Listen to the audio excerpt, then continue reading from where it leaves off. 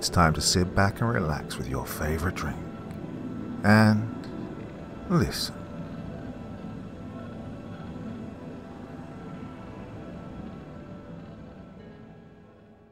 Restoration by Zithero. Part 1 I work in restoration. Your house or business floods, well, my crew comes in, dries everything up, cleans the baseboards, preps the place, tosses the ruined stuff into a dumpster, and hauls it away. We leave the place clean and ready for a fresh coat of paint. I'm usually pretty proud of the work me and my crew does. We do it all, too. Mostly we have to do flood damage, but there are times when we get called to rich folks' houses to remove stains from stone and concrete structures. I've had a museum call for the same. I've made a name for myself in being able to just get about any stain out of any stone. You think it's easy? You think you can just scrub away a stain? Oh, folks forget that marble isn't solid material. It's porous and it sucks in liquid. That's why polish and maintenance are important. I'm not naive, though. I mean, plenty of times I get called for uh, red wine. Yeah, okay, I get it. You were partying with the hooker, she OD'd, cracked her coked out head on a coffee table. Suddenly there's a pool of blood on the marble floor of your penthouse, and you can't get the stain out. Worse?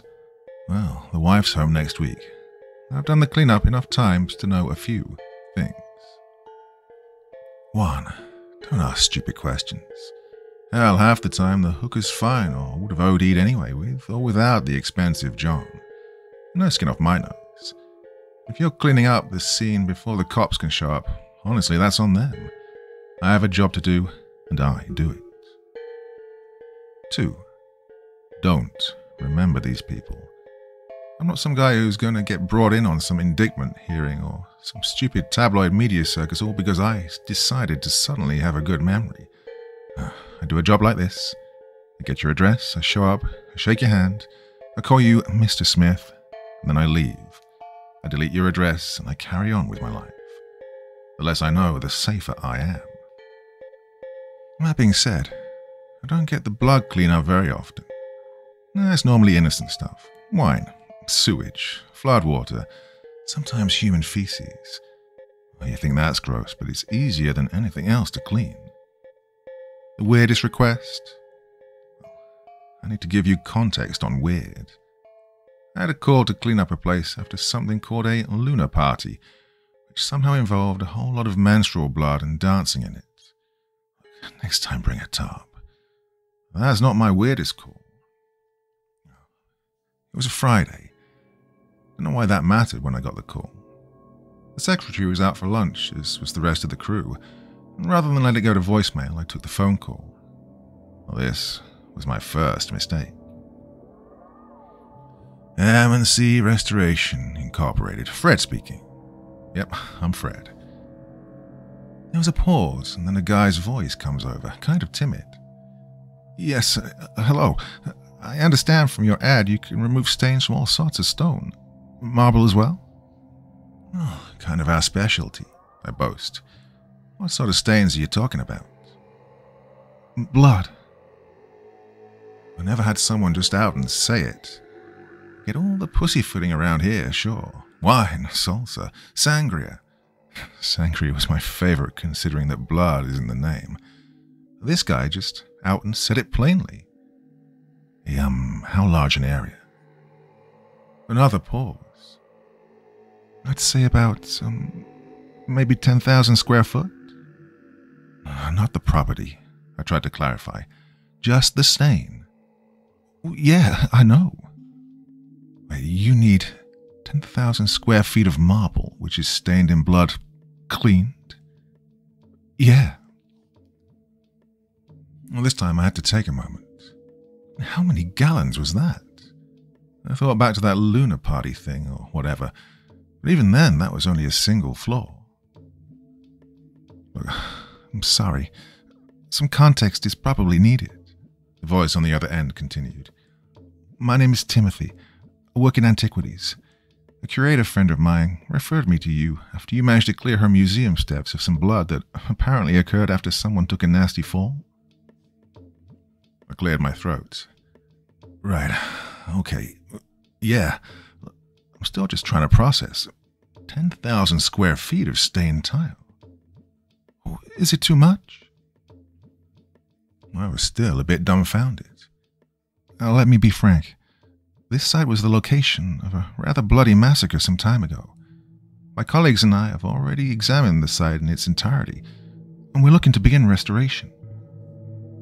At this point, my concern got overridden by cash. Antiquities. Historical site. This sounded like a fat government contract. Ooh, Christmas came early to old Freddy. Right, what's the budget for this project of yours?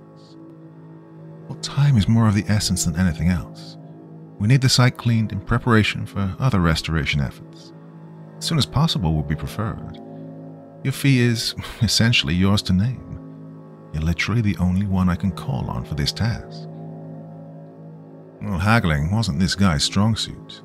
Sounded to me like he needs to read the art of the deal. Now, you're talking a whole lot of space to clear.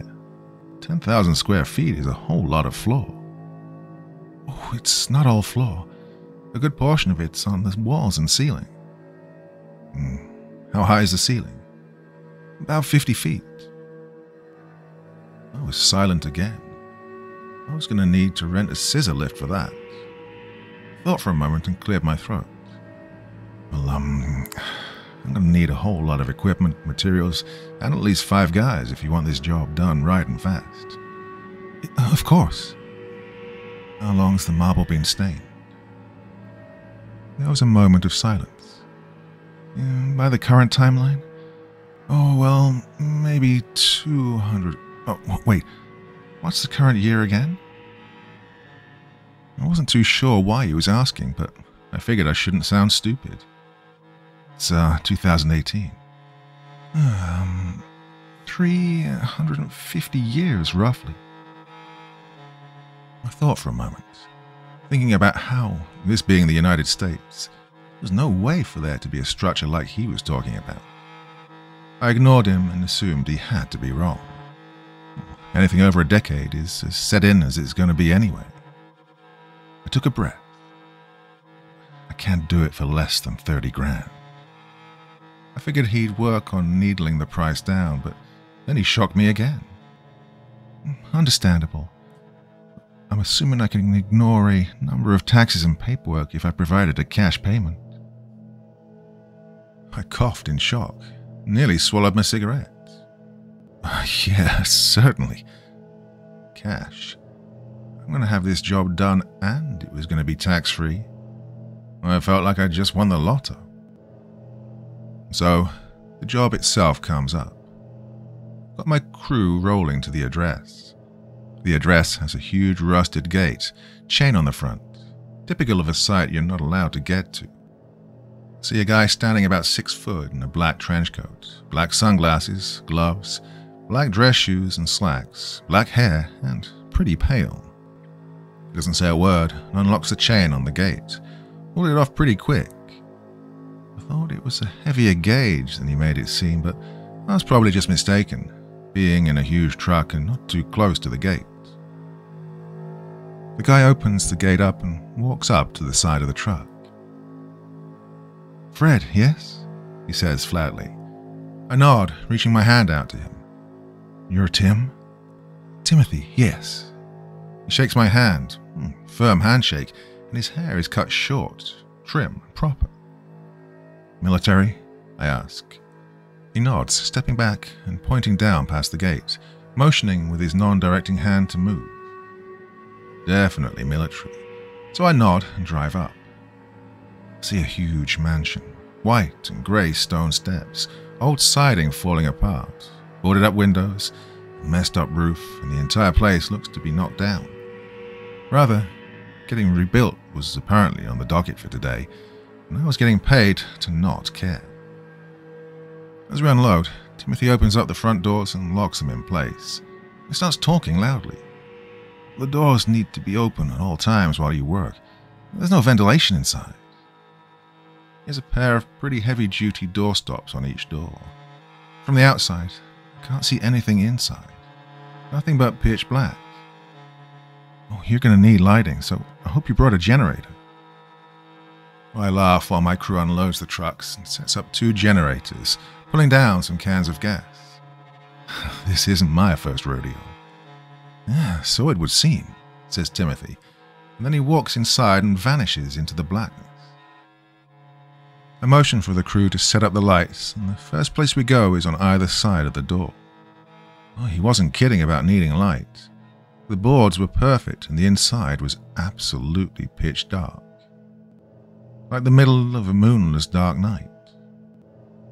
I hear the generator kick on, and the lights perk up a second later. That's when I see a massive white face appear out of the dark with brown drips across it. It's an angelic woman carved expertly out of marble. I swear I can see the pores on her cheeks and the split ends of her long hair. There's a second similar statue about 30 feet to the left, and it's covered in brown stains. I hear one of my guys, Chavez, speak up. My God. That's about when I got the hint something wasn't right. Chavez spoke again. Hail Mary, our Father protect us. I picked up Chavez from a day laborer site about a year ago, and I've been paying him under the table ever since.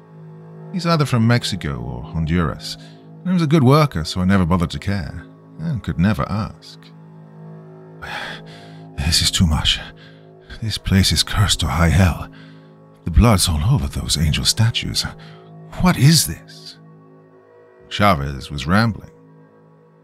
You see, the reason I never could ask Chavez where he came from was that he doesn't speak a goddamn word of English. Timothy's voice soon echoed across the room, walking over the solid marble in various states of stains and scrapes. I trust this isn't too much for you or your man. I didn't actually spot where he'd come from, but I wasn't paying attention before Chavez got a smack upside the head from one of my full timers, Pete. Hey, uh, since when the hell can you speak English, Chavez? When the hell did you learn Spanish, Peter? Chavez asked. Timothy seemed agitated. Gentlemen, if we can uh, begin the job now. Then he walked past us and outside. I turned to both of my men. Pete, Chavez, shut the fuck up, both of you. We do this job, go home, you all get a good paycheck, okay? No more questions. Let's get moving. Oh, this place is cursed, Chavez said before turning around and pulling in the pressure washers and detergent bottles. Well, I got up in Chavez's face now, certain he could understand me. But the quicker we get started, the quicker we can get the hell out of here, understand? Understood, Chavez said, still looking confused. Pete then spoke up. Hey, boss.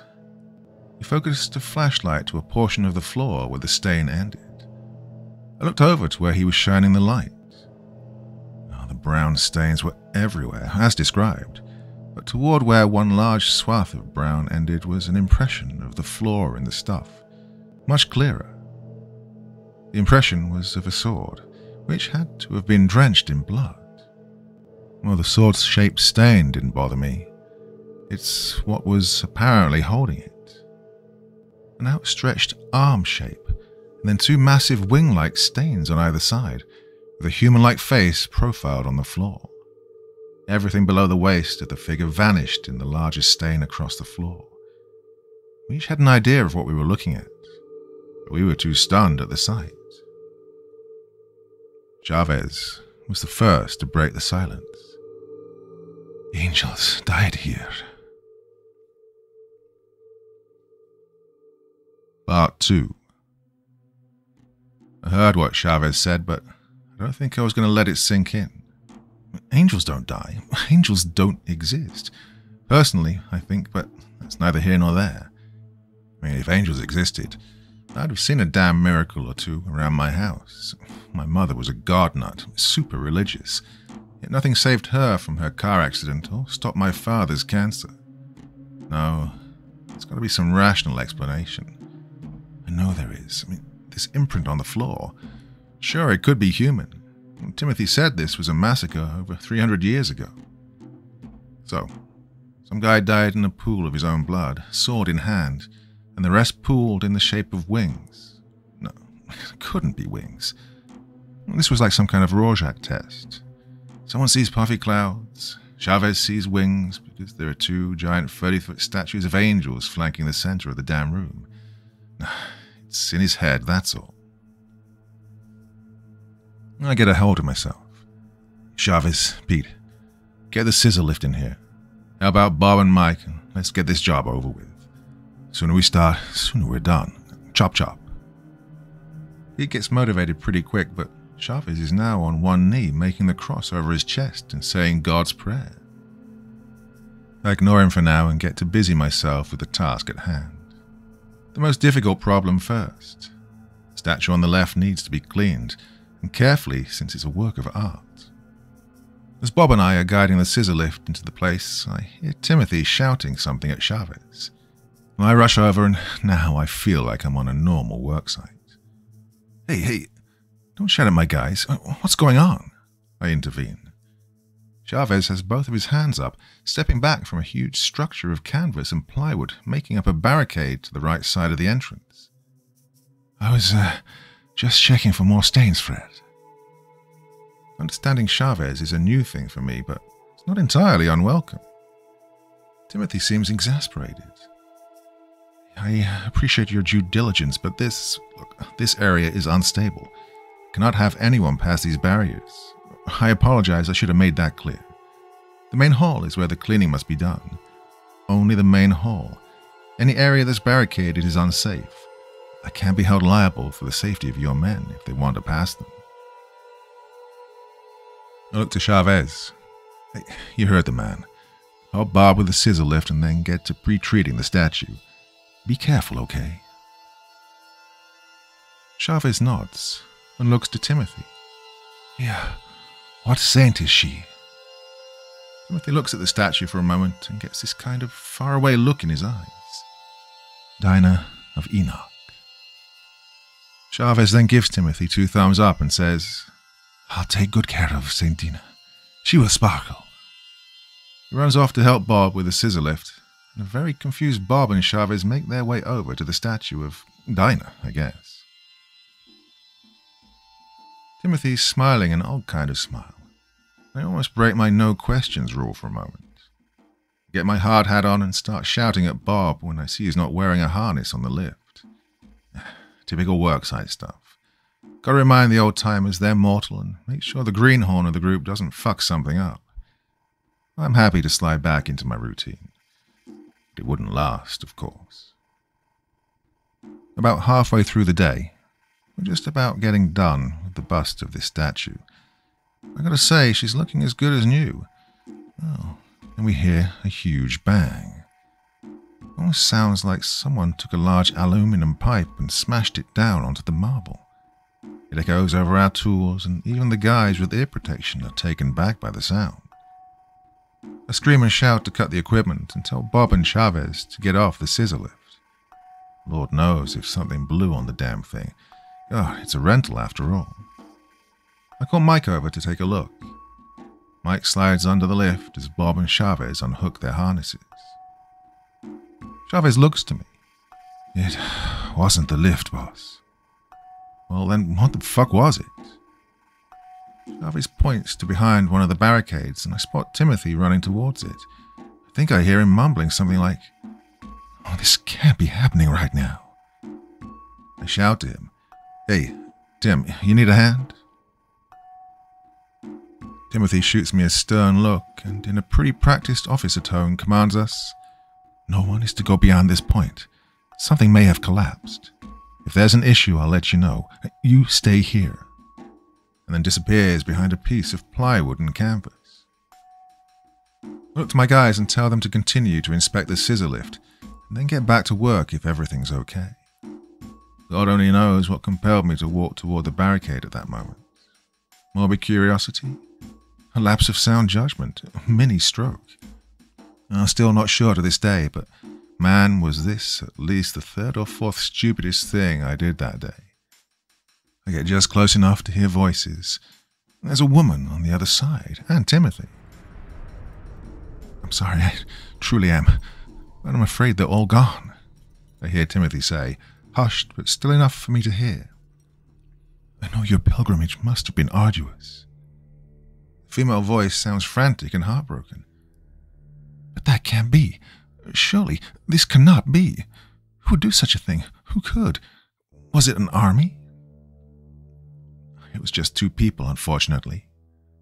He sounds almost guilty. They seemed to come in relative peace, but it was soon apparent that at least one of them had other ideas. All fought valiantly, but they couldn't be stopped. The woman's voice is trembling. It was her, wasn't it? The daughter of Lu. The pressure washer kicked in and startled me while drowning both of them out, and I realized how close I was to the barricade trying to listen. I stepped back and made my way quickly to the rest of the group, keeping an eye on the far barricade. Timothy had just vanished behind. I don't see Tim emerge until we're just about done for the day, and the statue clean.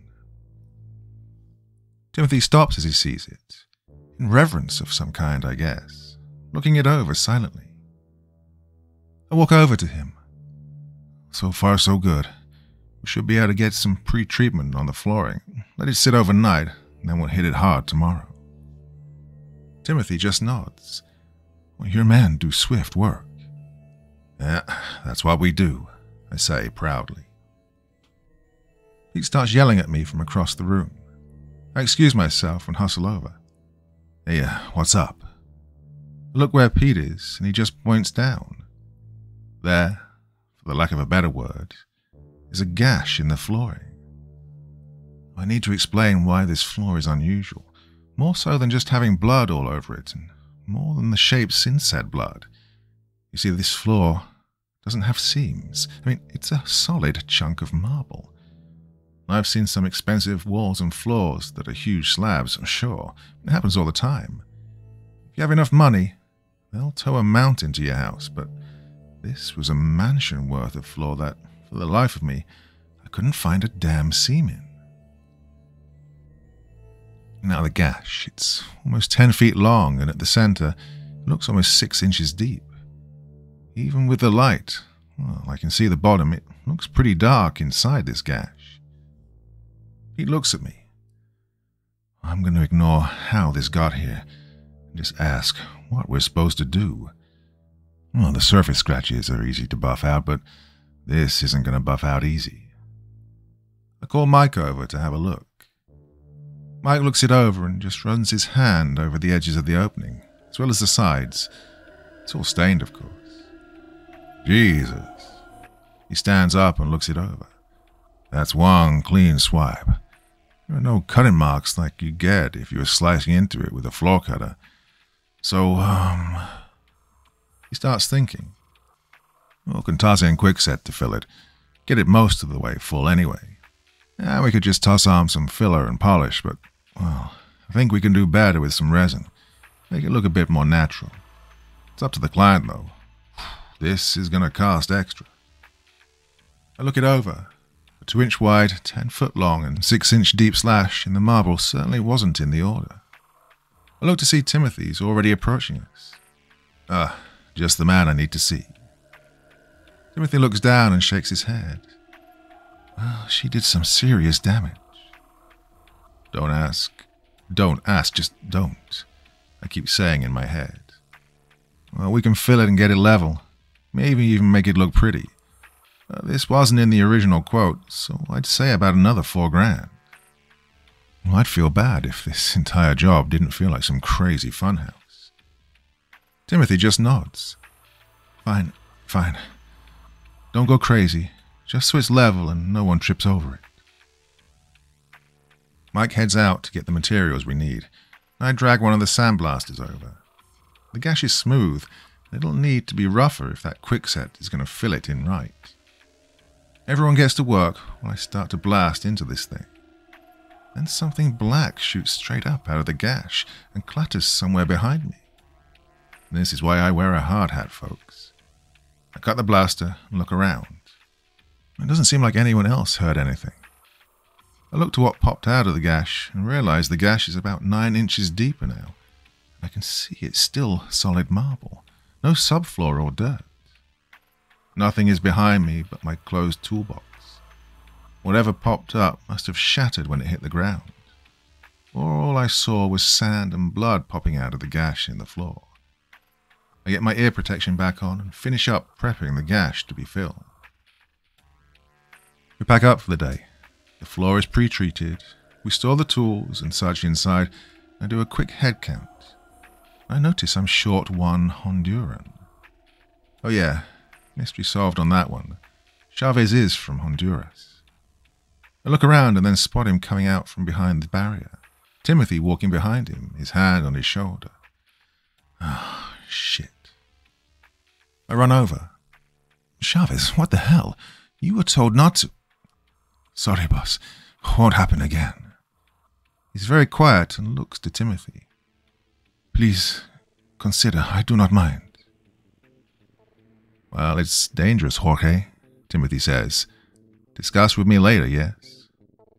Chavez just nods and walks off. Hey, um, what was that all about? I ask. Timothy just walks past me. I thought you didn't ask questions. Not when it involves one of my guys. I clear my throat. I'm sorry. Who disobeyed your instructions? Timothy glanced back at me. With the light from the door behind him, I kind of got the best look at his icy blue eyes. Sure it doesn't happen again, Fred. I just nod dumbly as the red flags keep waving in my head. Just don't show up tomorrow. Take the money, and leave the gear, and go on your merry way. Granted, I'd only been paid half of the job, but still, it was a decent amount. We get packed up, and the crew and I head out, packing my toolbox and other small items in the truck. I notice Timothy's locking up the doors of the place and then escorts us to the gates. He closes them with him on the other side. I pull my truck up to the gate. Yeah, you living on site? Timothy hesitates for a moment, but answers. Yeah, I have a trailer out back. Well, see you bright and early tomorrow then, Timothy. He just nods and waves me off. Never actually paid attention to where he went from there. I turn to Chavez in the truck and ask, So, what did you and Timothy talk about? Okay, is all I get from Chavez. Oh, he has to be fucking with me. I put it out of my mind, drop Chavez off at his place. He waves as always. Gracias, Senor Fred. And heads home. I head back home as well. At home, the kids are asleep, as is the wife, and I've got my toolbox in the garage. I pop open my toolbox, as I've got to swap a few things in and out for the next day specifically some mixing bits and the like.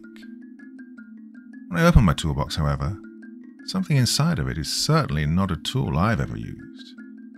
I suddenly recognize it. It's the object that came out of the gash. My toolbox was open behind me, but it must have closed when the thing slammed into it. The object's about three feet deep in the center, two feet long, and about three inches thick at the top, tapering to a point at the bottom. Looks almost like a wedge. I realize it's probably blood that seeped into the gash and solidified over the years. I pick it up, and it's light, but despite my best attempts, I can't break this thing. Looking at this object in the light for the first time, well, it almost looks like a blade. Either that or the shape of the gash just shaped this thing into one. The top is flat. The bottom comes to a point. Not sharp, but it could be. Light seems to penetrate through the edge of this thing, and it's tinted deep red. The rest appears to be black. I didn't even know blood could become a solid, but I guess if there's enough of it, it's possible. It's about 10 after 11 when I swear I hear three taps against my front door, as if I had a knocker or something. Well, I don't, by the way. I leave the object in my toolbox, closing it and locking it, and head to the front door. No, I'm not an idiot. I make sure to check my closet next to the door, and I make sure my shotgun's loaded. It's after 11 p.m. I mean, what psycho comes knocking at someone's door at this time of night? I open the door halfway and am greeted by an outstretched hand with a black ring on each finger, one of which was about to tap again on the door. The hand pulls back and clasps a wide brimmed white hat, removing it from his head and lowering it to about chest level. One hand is behind him, and he's standing a good six foot three, wearing a white duster of some sort and a red tie over a black, very expensive looking dress shirt. He has white rimmed glasses and yellowish eyes behind them, jet black hair that's well kept. As he speaks, it's almost like his voice doesn't match his body. His face isn't odd, but doesn't stand out. And his voice sounds almost like it comes from an old cop movie. Evening, young man. I understand you're working with an associate of mine. Goes by the name Timothy? Well, client confidentiality isn't my cornerstone, keeping my business out of my personal life sure as shit is. Sorry, buddy, but I'm gonna have to ask you to talk to me during business hours. His face falls slightly. Now, this is important. Regarding that place you're working in. Timothy may have you misled, you see. He's using this place for his own means, not prosperity and then pulls out some kind of business card and twirls it over each of his fingers before handing it to me. I look it over. Just has a phone number on it, no other information. His other hand brings an unlit cigarette to his mouth. He inhales, smoke venting out of his nostrils. If you were uh, to happen across something of note, I'd be appreciative if you could contact me. I'm not doing that. I'm not the kind to take things from a work site. Well, normally, this is completely true. A shit eating grin spreads across this guy's face, and his oddly perfect teeth almost glisten in the light on my porch. Ah, true. Be ashamed to take something that you don't understand, only to wind up dead. He cocks an eyebrow at me. Or worse. I had it with that creep on my porch at this point. Listen, pal. Hit the bricks, you hear me? Get the fuck off my property or I'll call the cops. Try cocking a shit-eating grin myself now. Or worse. But I don't think it works. I mean, he stands still. I can barely tell if he's breathing. I pump the shotgun behind the door. I know there's no point to this as I just eject a perfectly good shell, but I want him to hear that I've got a gun. It's pump action, and it's in my hand. His voice suddenly changes, or he just drops the facade, and a raspy voice like that of a lifelong chain smoker slithers out of his throat, half a whisper, half a wheeze. Not parting with it then, eh? Well, I'll have it one way or another, for certain. The accent is hard to place. It's not quite Middle Eastern, but it's not like anything I've ever heard. I've now pulled the shotgun out and pointed at his face. Now, I'm done with you. Whoever the fuck you are, just get out. He doesn't even flinch. He just grins more, a hissing chuckle dripping out of his mouth. You are a fun one. Never once does your sort disappoint. Always resorting to the fire provided by Prometheus, and yet. He pauses, eyeing the barrel of the gun never considering where it came from. I'm not sure where he pulled it from, but he suddenly crunches into an apple he must have had in his pocket. Ah, I suppose I'll have to reconsider. Maybe when you're asleep, like what happened to that hooker you cleaned up a few years back on Broadway. My heart skipped a beat. I don't talk about clients, and clients would never talk about me. I never go into that much detail either. I just restore shit. Well, a man of your skills is bound to clean up a homicide or two, knowingly or not. He tilts his head back, looking at me down the barrel of the gun. Cleaning up the sin left behind by those less scrupulous than yourself, eh? Oh, we've been watching you for some time. Now, for some reason, his eyes go wider. Red Fred. I click the safety off of the shotgun and put my finger on the trigger. Get the fuck out of here right now. Another loud crunch of his apple, and he seems to mockingly throw his hands up, walking backward, keeping eye contact with me with those yellow eyes. Ah, very well. Another time then. You are a fun one, Red. He then turns and starts to walk off. I haven't moved the gun yet. It's still trained on him. You fucking call me Red, you. I realised I hadn't gotten this creep's name. The card that he gave me only had a phone number. Whatever your God given name is. My mother always said this when she was mad. She'd shout out into phones all the time when telemarketers would give her fake names and shit. What's your God given name? So, it's a force of habit that I picked up. I only said it when I was really pissed at someone, and this guy had me pretty livid. And bar none, the dumbest thing I apparently did all day. He stops dead on my walkway, and his hands slowly go down to his sides. Oh. His voice whispers out, as if he just won a prize. You compel my God given name. His head starts to turn toward his right shoulder, but his shoulders aren't moving, not an inch. As I watch, I get ready to shoot. Oh, I swear if his head does a full 180 degree turn, I don't care what his name is. I'll just start shooting until he stops moving and probably pump a few more rounds into just to be sure. His head stops just shy of completely turned. I can see both of his yellow eyes as he slowly places his hat back on his head. He grins, and I swear I watch his pupils dilate till his eyes look almost entirely black with yellowish rings around them. You can tell Timothy my name too. He lets out another hissing laugh, and I swear I can hear the gun shaking in my hands for some reason. It's Belial.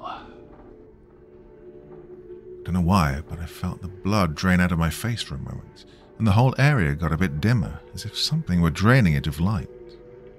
I stagger slightly, but regain my footing, press the shotgun butt against my shoulder tightly, as if it's somehow going to help me.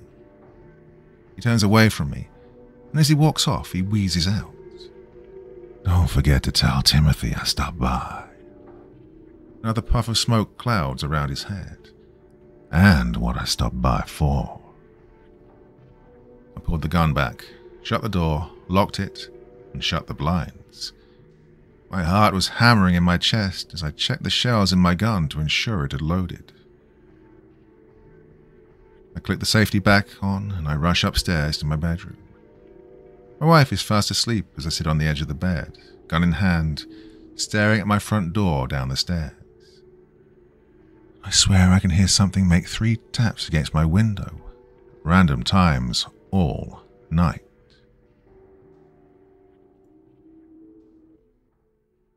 Part 3 Morning came, and I haven't put the shotgun down yet. Still sitting at the end of the bed and checking the windows. Seemed like the tapping sound stopped sometime around dawn. I hear my wife's alarm clock go off and the sounds of her rousing from her sleep. Morning, honey, she mumbles, brunette hair a massive frizz and tangles. Morning, I say simply, making sure she's okay. She gets out of bed and heads to the bathroom. I hear the kids' alarms go off next, and my boys are heard roughhousing in their room. My wife, Sandy, comes out of the bathroom, toothbrush in hand, and is about to motion for me to go to contain the wild animals that are my 15 and 13 year old boys. She stops when she spots the shotgun in my hand. She quickly spits out her toothpaste. Fred, why the fuck are you holding the shotgun? She looks me up and down with her soft brown eyes. Those the clothes you had on when you came home yesterday? Honey, I got visited by a guy who's probably not human in the least. He threatened the family if I don't return a red blade like object that came from some mysterious excavation site. Well, it's the most truthful thing I want to say. It also sounds batshit insane, and the more I play the sentence over and over in my head, the more I question my own sanity. Fred. Sandy pokes my shoulder. Apparently, I was staring off into space while trying to think up a logical response to her completely rational question. I, uh, well, someone was on the lawn last night, banging on the door and wouldn't go away until I got the shotgun. Sandy cocks her hip and shoots me one of those emasculating wife stares. So rather than call the cops, you reach for the shotgun? I cock the shotgun and clear the ammo out before heading back down to the closet to put it and the shelves back. Just wasn't sure if it's a prowler or kids. Sandy pokes her head out of the bedroom. Oh, and speaking of, Colin, Trevor, shake a leg. Close the closet and see my boys bounding down the steps in various states of dress, dragging their backpacks and heading to the table.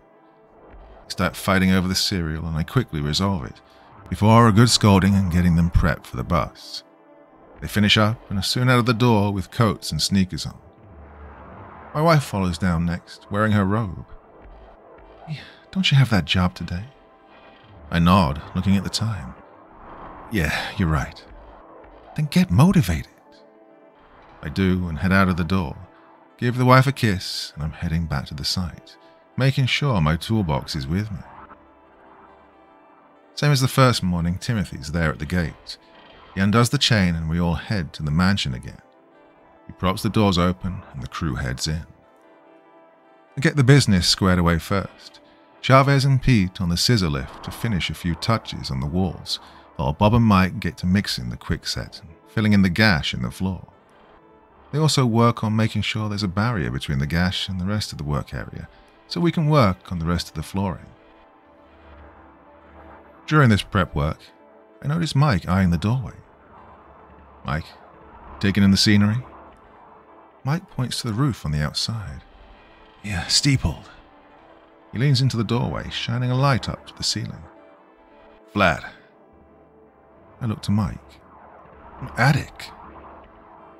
Mike pulls out a laser measurer. Steeple peak is 53 feet. He leans in. Ceiling is 50 feet. He leans out again. Low point steeple's 44 feet. He leans back in. Flat ceiling's 50 feet. I grumble a bit. Last day here, Mike. Get the job done. That thing's probably on the fritz, eh? My eyes aren't on the fritz, Fred. Damn your eyes. See Bob looking at the same thing as Mike. Bob, do something. Bob seems startled but manages to compose himself and get back to setting up his tools. I walk past the crew as they prep and pop open my toolbox. I find the strange object, or artifact, or whatever it is, and take it out of my toolbox and head toward Timothy. Timothy's observing Chavez and Pete when he spots me coming. Yeah, this wound up in my toolbox, I say, holding the object out in front of me. Timothy looks it over without touching it, then looks to me after a solid minute. This came from here? I nod. Yeah, from inside that gash in the floor. Timothy holds his right hand over the thing for a moment. Then he starts guiding his hand back and forth over it slowly. I have no clue what he's doing. I'm about to ask, but as I look up, I notice his eyes seem to be a more intense blue than they were before, specifically his right eye. Timothy stops suddenly and just grabs the thing with his right hand, pulls it hard out of my grip. Thanks for returning this turns it over in his hand again. His eyes seem to be a normal shade of blue once more. It's a very rare find. Yeah, that's what your associate said. I was hoping to fish for some info. If this Belial guy knows Timothy, then Timothy should know him. Associate? He looks at me quizzically. I nod. Yeah. Tall guy, kind of yellow eyes. Way too perfect teeth. Timothy seems completely confused. I'm afraid I don't know anyone like that. All my associates are here. I figured it was time to stop trying to get him to spill the beans and just come out and say it. Listen, the guy shows up last night, tells me he wants that thing, then he tells me his name is Belial and that you know him. Timothy's face goes slightly pale. You're certain he said Belial? I nod. Timothy looks to the object and then walks to the doors. Sorry for this, but I hope you have everything you need inside. Then he shuts the doors. I'm a bit dumbfounded at this point. Yeah, I thought you were concerned about ventilation. Timothy just walks right past me and toward the barricade. Ventilation is the least of your worries at the moment. I turn around and the entire crew is dead silent. Not sure what to do as we hear some banging, a few doors closing, and then some rustling past the barricade.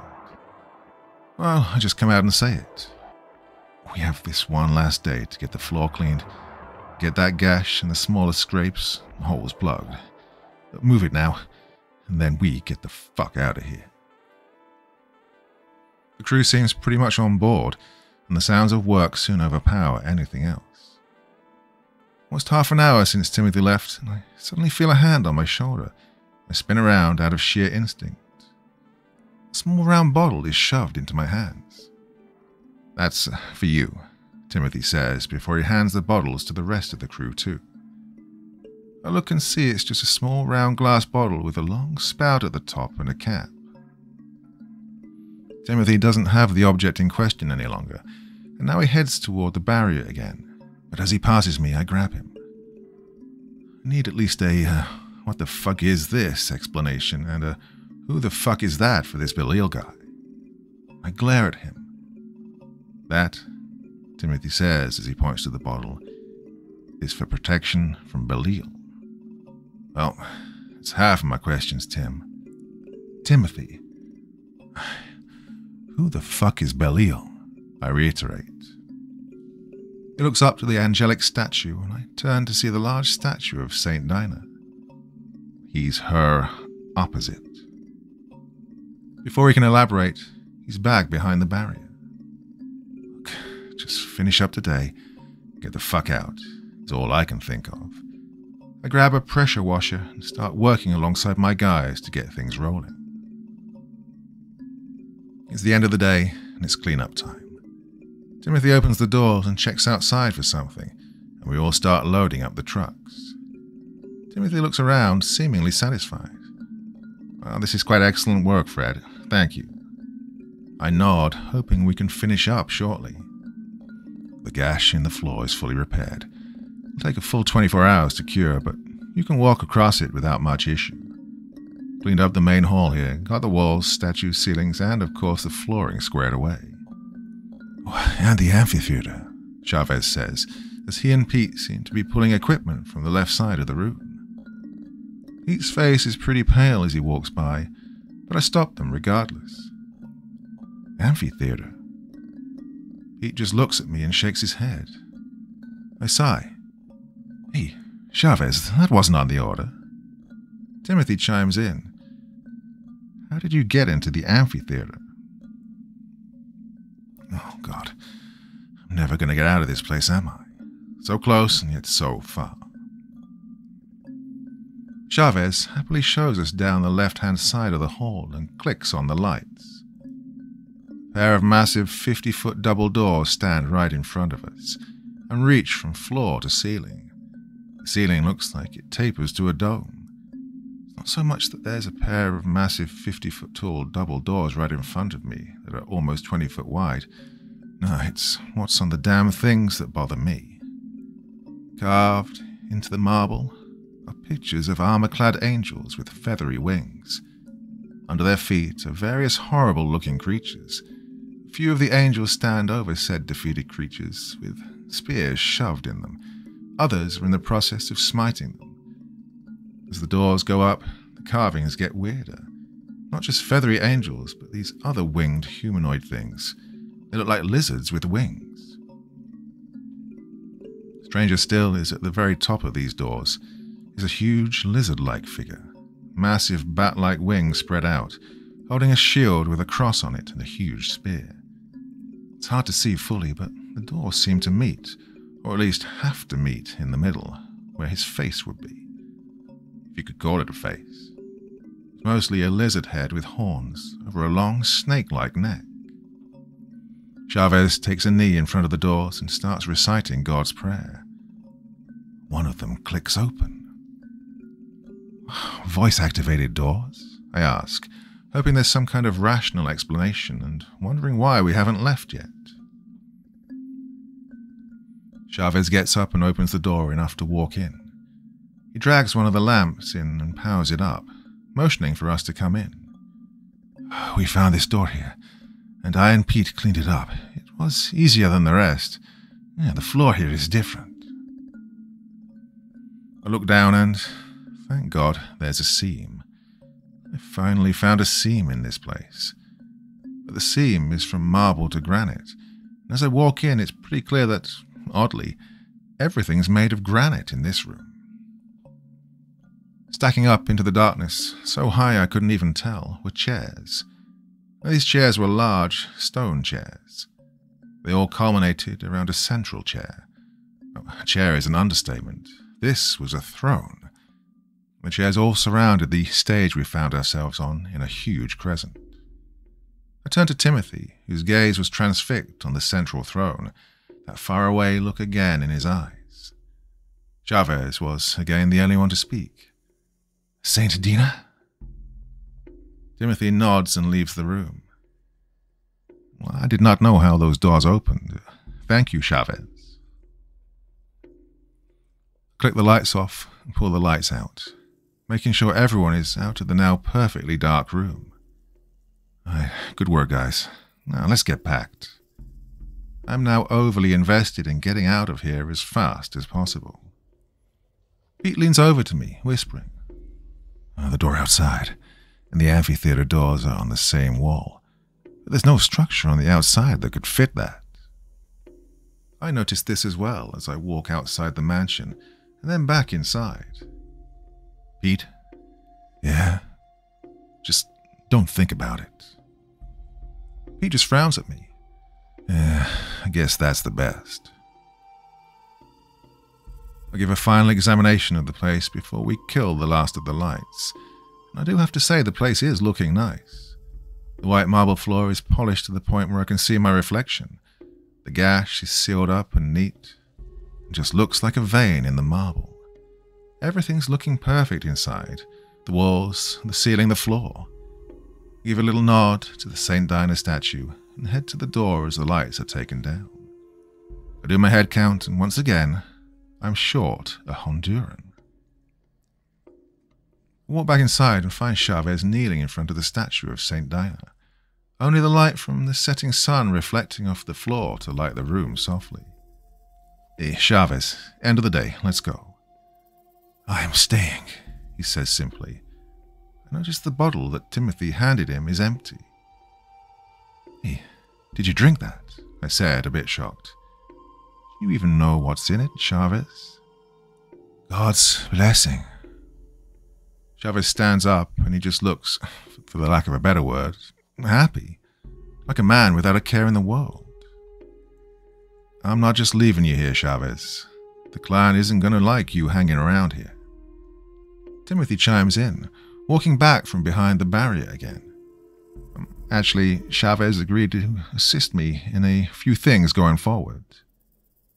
I turn to look at Timothy. You ever think I might not want to lose a member of my crew? Chavez speaks up. Uh, Mr. Fred, it's okay. I want to stay here. I want to help Saint. T Timothy interrupts. He volunteered. It was hard to say no to him. I give Chavez a look. Just smiles and extends his hand. It's uh, nice working with you, Fred. I ignore it, though. Get your head on straight. I'm your ride. I'm staying, Fred. Now I turn and shout. Chavez, I'm not staying here any longer, okay? I'm out, done, finished. I stopped for a second. I didn't say finished, I said finito, but for some reason it came out as English. I'm 100% done with this place, okay? I'm out. Job's done. You want to stay? Enjoy. I head towards my truck, look to my toolbox, ensure that nothing else is there that shouldn't be. I close it, and out I go. As I head out the doors, Timothy starts to close them behind us, him and Chavez still inside. Timothy looks to me before he closes the doors. The uh, remainder of your payment is in the truck. Everything we discussed. I cannot fully express my gratitude. He shuts the doors and we load up. I check the truck and there's an envelope with the second half of the payment. I'm pretty shocked and I count the bills a few times. I'm up a good 10 grand. I've heard of getting a tip, but this was a bit of an overkill. I know one pair of kids whose college fund is going to be in a good place after all of this. At home, I'm doing the husband thing and cleaning up the dishes from the wife's dinner. Sandy and the boys are asleep. That's when I hear a crash in the garage. I run to the closet, grab the shotgun, and fill it with a few shells before I rush in. I'm kind of expecting him at this point. My toolbox and all the tools are strewn about all over the floor. I see my garage door open slightly, and suddenly something small and almost glass like hits me in the face. I look down to see what looks like a chunk of the object that was in my toolbox, about the size of a half dollar, land on the floor. That's but a pittance, Red Fred. I turn to the voice and I see glowing yellow eyes in the darkness. Not nearly what I need. I pull the gun and go to shoot, but I feel a tug against my entire body as if someone grabbed onto my sweatshirt from the front and pulled it downward. I barely take a step forward, but it's enough to get me to point the gun down at the floor. I look up as Belial's hand is dropping from being in midair, steam rising off the black rings on his fingers. Weak. Not this week, though. Another hissing laugh. He offered you protection, eh? How noble. Before I can take aim, a tool shoots off my workbench and smacks into the shotgun, which lands a few feet from me. I lunge for it, but it suddenly leaps off the floor and into Belial's hand. Belial takes the shotgun and places it against his shoulder, looking down on me, as if a little bauble could do anything against me. I try to get up, but he places his foot on my shoulder. I can't move. You've done something very foolish, Red Fred. He's soon crouching down onto his haunches over me. You've hidden the only thing that can help me move up from a puppeteer to a god. The shotgun barrel now slides under my chin as I see Belial's face illuminated by the light coming from the doorway. But there's hope for you yet. I'm shaking at this point as I'm not sure how the tables had turned so fast. You can fix your mistake, and in return, I'll spare you and your family's lives. His voice wheezes, but not as much as it did before. He somehow seems stronger. Ah, despite how I look, I've done quite a bit to exist in this world. Possession's normally a lesser demon's game, but the discovery of that sanguine amber. He cocks the shotgun. I could not resist. I'm sweating and slowly try to get to my feet. I'm on my hands and knees by the time I feel the barrel at the back of my head. Now, this is your next course of action. You'll leave here right away and retrieve for me the sanguine amber you found. You'll bring it back here and give it to me. In return, you'll be at my side rather than in my path. Well, I swear I can hear his grin somehow. Nod, if you understand. I just nod. What else could I do? If you do not bring me the amber, if you do not return home, or if somehow you reach out to Timothy for aid, I'll go upstairs and I'll make your children watch as I violate your wife in every way you can and cannot imagine. I clench my fists. If you lay a hand on her, I'll. You'll what, mortal? And I hear the safety slide off. Bleed on me. I relax and I hear the safety slide back as the gun clatters to the floor. You're on the clock, Freddy. I look up and the garage is clean. The door isn't open. There isn't even a sign that I dropped the shotgun, as it's sitting neatly on my workbench. I get to my feet, shaking, and turn to see a figure right behind me, causing me to shout in fear. Sandy is behind me and she punches me in the shoulder. Jeez, it's just me. Why are you so jumpy, Fred? What's going on? I rub my shoulder where she nailed me, and I try to figure out how best to protect one's family from someone who's clearly not from this world. That's when I remember what Timothy handed me at the worksite. I rush to the closet to find my coat. Were you on the phone? Thought I heard you talking to someone, Sandy asks. I pull the bottle out of my coat and turn to her, pressing the bottle into her hands. Sandy, I know this is going to sound batshit nuts, but I need you to drink this and share it with the boys, okay? Well, they're asleep, Fred, Sandy says curtly. She looks at the bottle and raises an eyebrow. This isn't some random point where you poison us all and run off to Malibu with some bimbo, is it? I grab her by the shoulders, looking her dead in the eye. I'm asking you to trust me. Just drink half the bottle, split the rest with the kids, okay? I need you to do that for me right now. Just drink half. Sandy's clearly worried now. She undoes the cap on the bottle. Okay, Fred, okay. Just calm down. Takes a swig, then another until the bottle is half empty and caps it. So I, um, drank what? She trails off and suddenly closes her eyes, opening them again and looking right into my eyes. Oh, wow, that's probably the best water I ever drank. I nod. Make sure you give it to the boys, okay? I left something at the work site and I need to go get it. Sandy just nods. Yeah, love you, Fred. I let go of her shoulders. I love you too. Just make sure the kids drink that and keep the doors locked, okay? Don't let anyone inside. Sandy just nods again. Okay, Fred, look, be careful. She walks up the stairs and waves, smiling serenely as I rush out the door, lock it, and make my way to the truck. Well, in retrospect, I should have kissed her. I was driving swiftly, fast enough to be a little worried, but not fast enough to get pulled over. Got to the gate of the worksite in roughly an hour, which was pretty good time from my house. Saw the gate wasn't chained up anymore, which seemed odd because Timothy had to undo that chain every time. Did he never leave the mansion after they closed the doors? I drove down the driveway and hit my brights, knowing it might be dark in that main hallway, and I ran to the doors. Timothy, open up. I slammed my fist into the door. Damn it, Timothy, open the damn door. I look to see there's no padlock on the door and jostle the old doorknob, swinging the doors open. It! Timothy!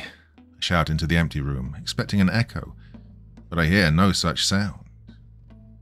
I'm hit with a musty scent the smell of rotting wood and mildewed fabric.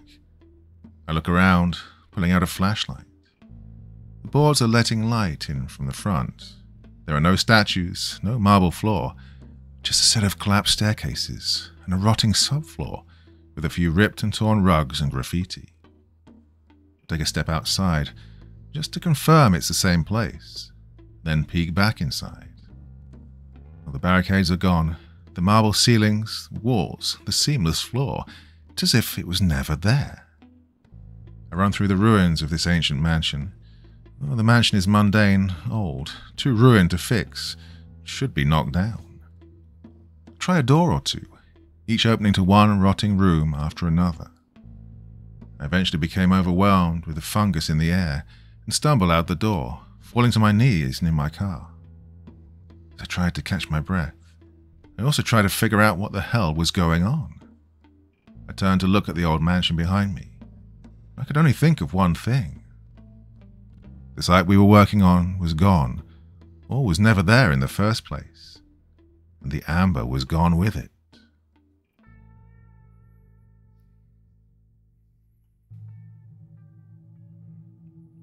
Part 4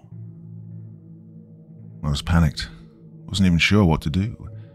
Timothy was a don't ask customer, so I had no contact info saved, no way to reach him, not even a cell number. That's when I realized I did have some hope. I got back into the truck and hauled ass back to my office. I could get there in about 20 minutes. I could check the caller ID and maybe reach him that way. I zipped out of the long driveway and got moving as fast as possible, leaving the gate open. I don't even think I closed the doors to the old mansion. Got to the office in just under 15 minutes. I fumbled with the lock, having to stop myself for a second and then calmly get the key into the slot. I pulled the door open and rushed to my desk. I hit the call history on the phone and I finally got a number. Out of state, sure. It was from New York, which was fine, and probably the right number. I hit the speed redial while jotting the number down. My stomach dropped when it went directly to voicemail, and I heard the message on the other end. You've reached Major Timothy Crestfall. Please leave a message and I'll get back to you shortly.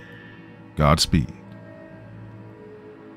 I hadn't caught my breath by the time the beep occurred. Timothy, please, you need to call me back. Belial's threatening my family, my wife, the kids. Gave them that water you gave me, but this guy, he's. Oh, I don't think. Should I say it out loud to make it real? I don't think he's human. Help me. I hung up and tried to call again, direct to voicemail once more. A random thought runs past my frantic mind.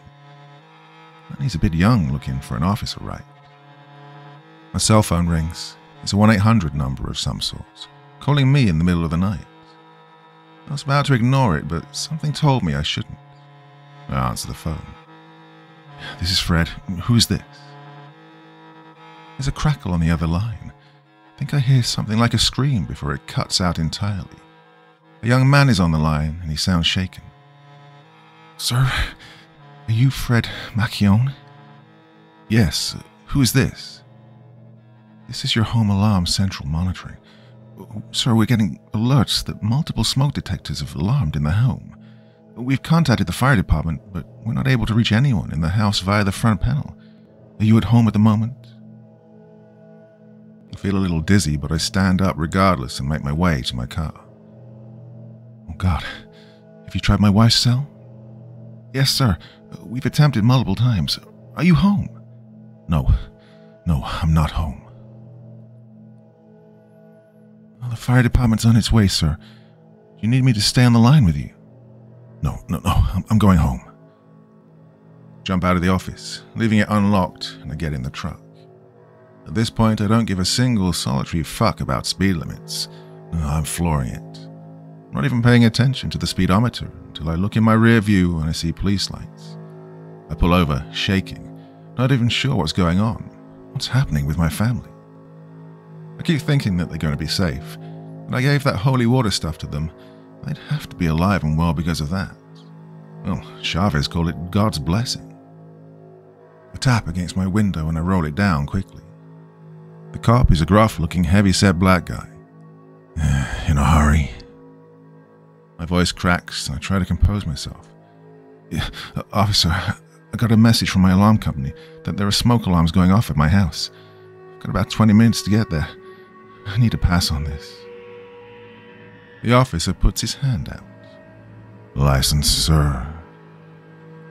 I curse and hand him my license. I hear him actually running to his car. I contemplate just speeding off right then and there. Scenarios going through my head of him shooting at my tires or turning the entire thing into a police chase. My train of thought is broken when he runs back to my window, giving me my license. Right, follow me. Try to keep up, sir. What? I'm confused by this. I'm giving you an escort. I think I went pale at this point. The cop puts his hand on my shoulder. Sir, do you need me to give you a lift? I look to my shaking hands and just nod dumbly. He opens my truck door, takes out the keys, and undoes the seatbelt. Before I know what's going on, I'm in his squad car, and we're speeding down the streets with the sirens blaring. I hear the radio chatter come in and out, but I can barely understand it. He grabs his radio. Car 314. Got a resident of 335 Locust Street en route to the scene. The scene? Well, I'm still in disbelief, shock, and can barely tell when we're on my street and the car finally slows down after it was done running every red light and every stop sign. The car comes to a stop, and I scramble out of the car. I'm half blinded by the sea of emergency vehicles, ambulance, fire, and other cop cars. I think, briefly, that at least the alarm system did something after 10 years of a monthly subscription. The heavyset officer is already out and parting the onlookers in front of me, stepping past the caution tape. He says something to the other officers as I wander onto my front lawn. I stagger onto the lawn to see the smouldering remains of my home. Firefighters are working to put one of the fires out. I look around frantically, trying to spot Sandy and the boys. And eventually, I find them. Three body bags are on the lawn, sealed. Two smaller forms inside, and another that reminds me of my wife when she'd hide under the sheets. I feel pain in my knees suddenly. Apparently, I fell at seeing them. Feel a pair of hands on my shoulders, another roughly handling my arms and hefting me up. My legs barely function as I'm led to the back of an ambulance. The heavy-set officer helps me sit down in the back of the ambulance. Through all the white noise, I see a very bright light in my face, and a voice slowly, finally comes through. Can you hear me, sir? A young black woman is in front of me with an ophthalmoscope. I blink, finally, shaking my head. yeah. She moves the bright light back and forth, and I start to come out of my funk. I look to the pavement. They uh, didn't make it out, did they? Her tone is emphatic, but practiced. I'm sorry, no. We did everything we could, but by the time the fire department was even able to reach them, it was too late. I do my best not to just burst into tears, but they come anyway. I suppress a sob and try to swallow it down. I blink a few tears out of my eyes and I hear the female EMT walk away. I hear a few male voices approaching. That's him. Okay, I've got it from here. You can fall back. Might get, um, ugly, you know. I shake my head, knocking a few tears out. Cops are going to be asking me questions and I need to be composed. Try to dry my eyes, but it doesn't work. I feel the ambulance shift slightly as if someone is sitting next to me. Mr. Macchione? I nod, eyes still downcast. I'm Detective Benjamin Leibel. Got a few questions to ask, mostly regarding your whereabouts prior to the fire. Smoke? A pack of cigarettes is offered. I take one, accept the light, and take a deep breath. I'm about to say something when I think about how odd that name sounds. I hear a wheezing snicker, and the voice changes to one I'm far too familiar with. I'm kidding, Freddy. I know where you were. My head snaps to my left, and I see Belial. He's sitting right next to me, black hair slicked back above his pale face, yellow eyes, and two white teeth. His duster is still white, but in addition to the red tie, he has a police ID badge hanging around his neck. I clench my fist, grit my teeth, but before I can stand and deck him in his perfect teeth, his hand is on my fist and he's hushing me, pulling my hand down. Shh, he starts. I was just delivering on a promise, Red Fred. I try to push against his hand, but it doesn't budge. Stop calling me that. We all call you that, Red Fred. You should get used to it. His grin now fades. I have to give you some kudos, Freddy. That was a dirty trick. What the hell are you talking about? His grin seems to return somewhat. When I couldn't pull you towards me, I assumed you'd drunk some of the sanctified water from the Guardian Temple. Guardian Temple? Belial snickers, almost hissing. The place you were cleaning, Freddy. He takes a deep breath, wheezing out his next words. As I said, you surprised me, giving your only protection against me to your family. Oh, smarter than I took you for. A glare daggers at him, even with tears in my eyes. And this seems to make him even happier. Ah, you see, Fred, Normally, what I would have done would have been to march you up to your children's bedroom, wake wake 'em up, and take take 'em to mommy. Then torture her relentlessly until she forsakes you and the children, then promise her an end to her pain in exchange for her soul. A chill runs down my spine. Oh, the strong ones resist, right up until I threaten to put the children through the same pain I'm putting her through. Oh, he's grinning a sick grin now from ear to ear. And I'll take her soul in exchange for the safety of her children. Once that's mine, I remove the love she holds for her family, for God, make her one of my whores. Then she would usually just kill the kids on her own. He lights his own cigarette now. You know, for fun. I can feel the horror just wash over me. Almost without fail, worked for at least nine out of ten. I try to swallow the lump in my throat. But you, Fred, his grin fades. You robbed me of a good time. You see, normally, if you drink a half bottle of that holy water, you're protected from possession and the like. What you did, Fred, giving him your protection selflessly, that bumped the potency up something fierce. Shows me his left hand, the skin on his palm almost entirely black, his hand shriveled and shaking. One of his rings even falls off his finger and shatters when it hits the ground. He curses in some unknown guttural language as this happens. You see, Fred, that happened when I reached out and grabbed your wife's arm. Burned like a bitch. Still feel it burning, actually. Now he glares at me. The yellow in his eyes seems to be moving. So, with me being unable to touch them, I had to take some more mundane methods of keeping my promise. He pulls his hand away and slides a leather glove over it. Broke the doorknobs, nailed a few windows down, made sure they didn't get out as I burned the place down bottom to top. He snickers. You protected your family from me, but the house was a different story. I'm gritting my teeth, staring daggers at Belial as he seems to be enjoying telling me all of this. His tone changes, however. I've never had to end someone like that. Ah, it was so mundane, so dull, and knowing that their souls were saved as I did it.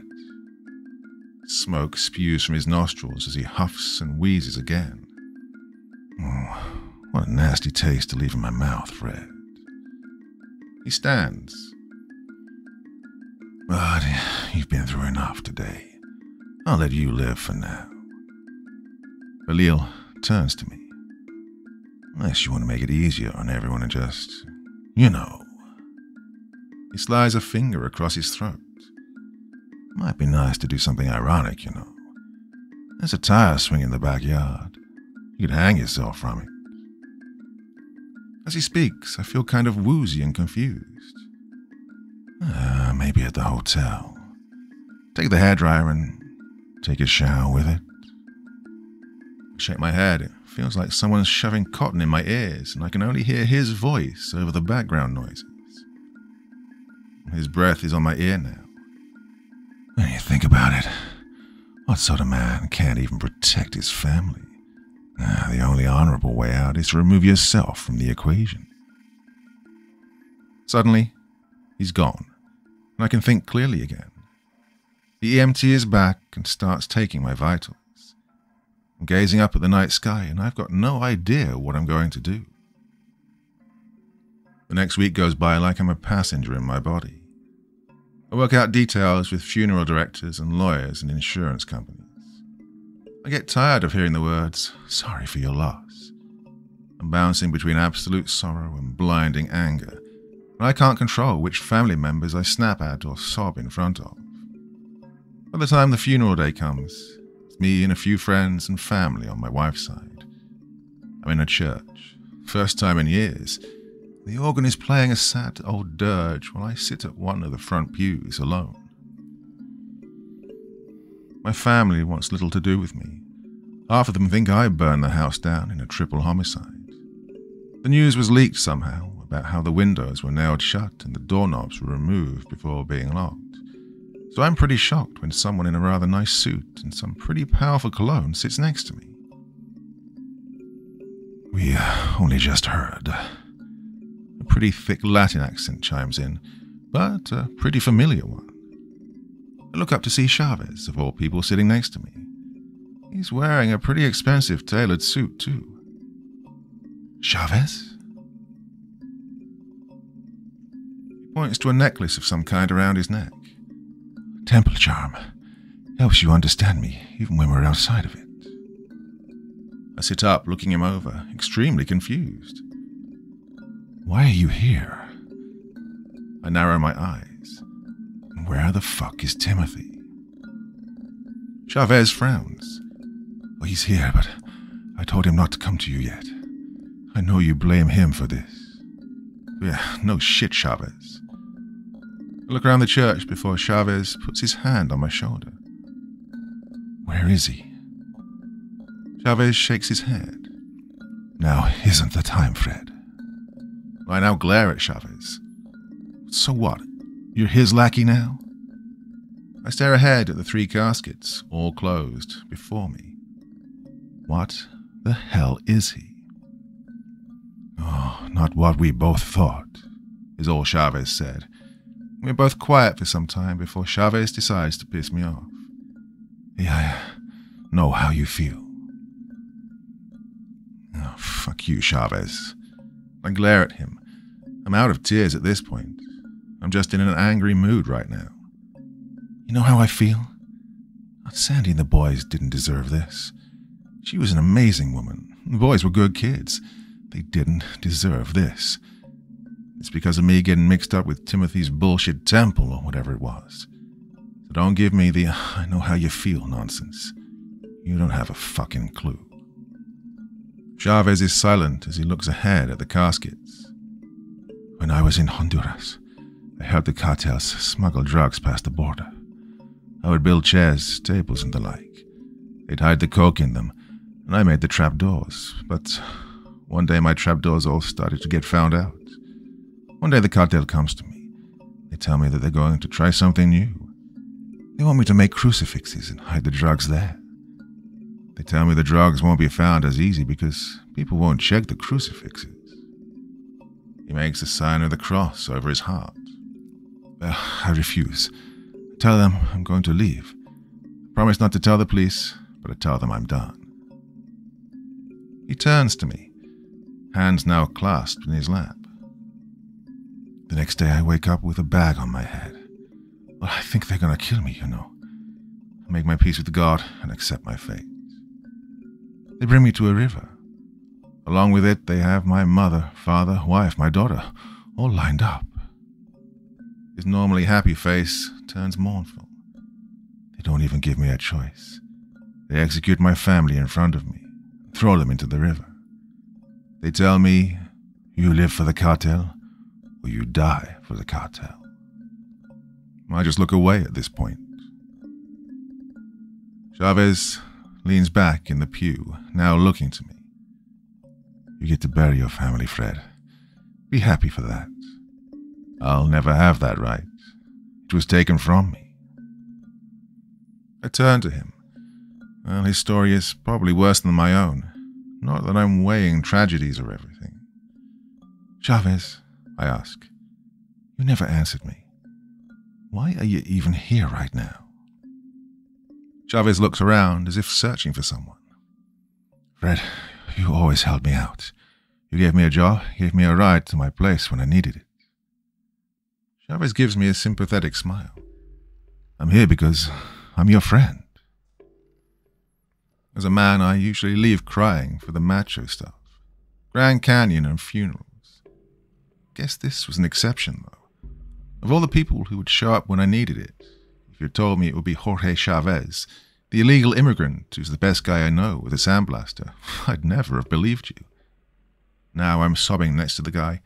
He's doing his best to comfort me.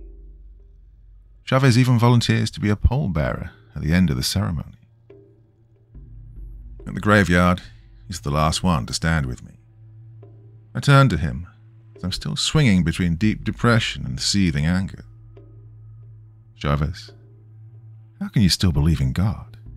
He took everything from you, and yet you're still faithful. Chavez starts to unbutton his jacket as he talks. When the cartel killed my family, they forced me to be their runner. He undoes his jacket and now is undoing some buttons on his shirt. Ah, one day during a drop, I see a hole in the border fence to America. I think to myself, I can live in the cartel or die free. I prayed to God and asked Him to protect me during my escape. Oh, I ran. He reveals his chest. There's a hole just below his rib cage on the right. Looks like a bullet wound. It missed my heart, lungs, didn't even hit a bone. One in a million shot. A miracle, Fred. God's protection. That's why we should thank him every day, he said while tapping the scar. Thank him? Chavez, where was he when Sandy and the boys needed help? Where was God? Why didn't he help them? Chavez looks me dead in the eyes as he buttons up his shirt. Did you ask him to help, Fred? I'm silent and just stare ahead of me, past the graves. It can't possibly be that simple, I tell myself. That whole ask and you shall receive nonsense. After a while, Chavez leaves my side. A few minutes later, I hear someone walking up behind me. I look, still facing ahead, and see Timothy in a black trench coat and suit with black tie behind me. Oh, you've got balls, man, I say curtly. I never intended for this, Timothy says plainly. He looks over the graves. What you did to protect them was, well, it was beyond what I thought you could do. He started to smile a bit, but now his smile fades. If I'd known you had a family, I'd have given you some other tools. I turn and march right up to him. Despite this, he doesn't flinch as I get in his face. Yeah, your tools were really fucking useful. I gave my wife and the boys that sacred water. Just gave them a quicker death. It saved their souls, Fred, Timothy says simply. Because of you, your wife's soul isn't in the possession of Belial. Neither are your children. Oh, bullshit, I shout. That's not how this shit works. You don't lose your soul if a demon possesses you. Well, sometimes you die, but I know enough about that shit to know you're just bullshitting me. I talked to the fucking priests. You think Belial is a demon? I take a step back. Well, what else could he be? Timothy's face doesn't change expression in the least. Belial was at first a dark angel. Long ago, he was tasked with punishing impure souls. That was before the war. Timothy looks to the sky. I look up with him. What war? The war with cherubim and seraphim. The cherubim were high order angels, created by God to be his servants, but who aligned themselves with Lucifer. Timothy looks to me. The war began when Belial talked Lucifer into defying God in the first place. I'm pretty dumbfounded at this point. I look to the graves of my family for a moment. Why does such a big shot from down below want to fuck with me then? Ah, oh, the amber you spoke of. It has enormous power. Power enough where, if Belial got his hands on it, he'd be able to pull himself into this world, Timothy answers Pull himself. Newsflash, Timothy. He's already here. Timothy shakes his head slowly. Belial is only possessing a man now. That's why the first day he didn't just kill you and take the amber. The man he had possessed was still resisting him, still fighting. At that stage of early possession, a spirit cannot make someone do something they do not wish to. It wasn't until the next day his will faltered and Belial gained full control. Still, even in full control, only a wisp of his power can get through that vessel. Timothy gives me an odd smile. Belial, with the amber, would have brought himself into this world completely, and as a full powered cherubim, laid waste to everything. Now he beamed at me. So, Fred, you saved the world by keeping it from him. I looked away from Timothy, not knowing how to feel about that.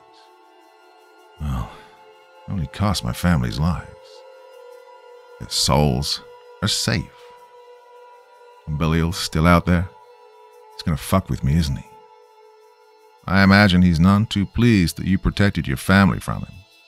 He'll likely continue to torment you. Plan on doing anything about it?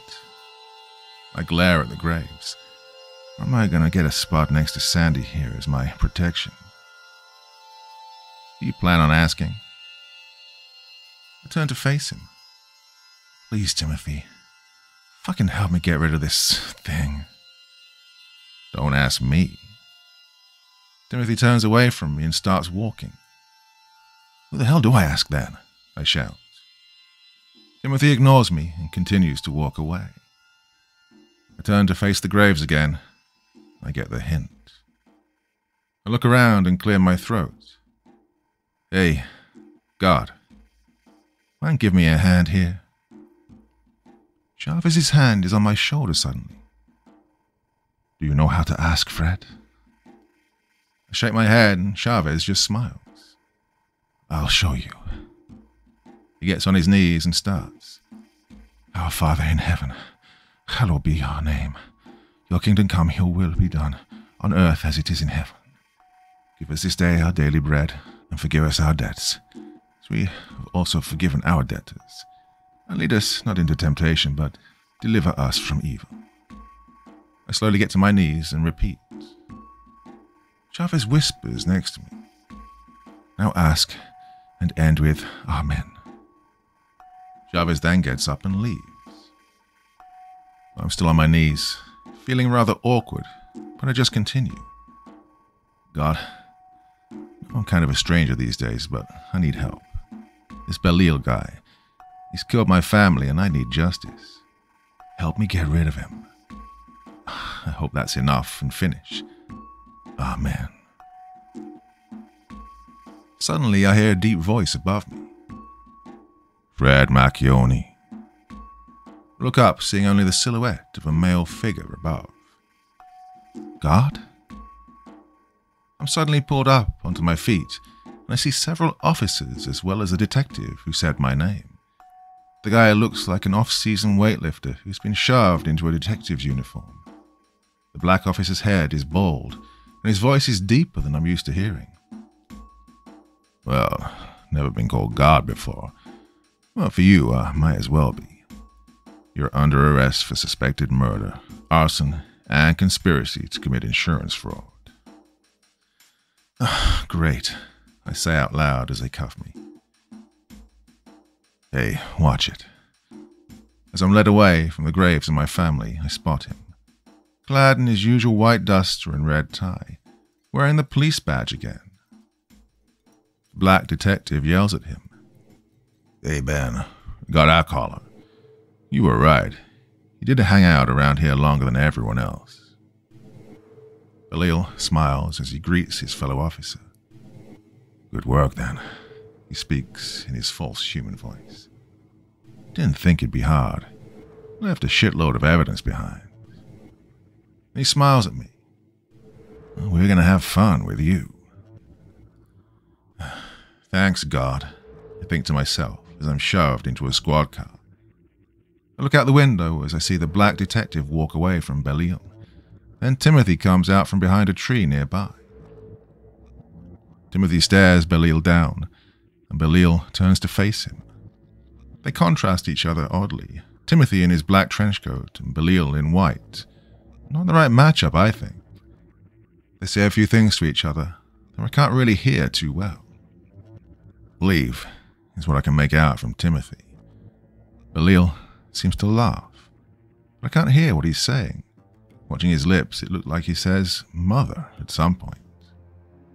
Timothy seems to narrow his eyes and get serious. Kick his ass, Timothy, I think to myself as I watch with bated breath as the two square off in the graveyard.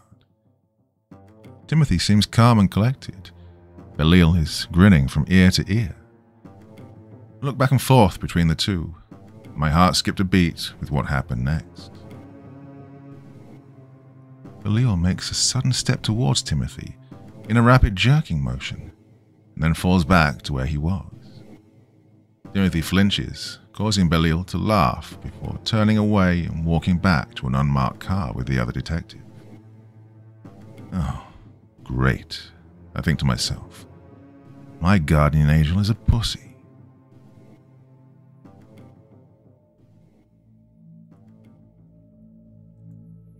Part 5 I get pulled out of the squad car in my Sunday best and led into the police station.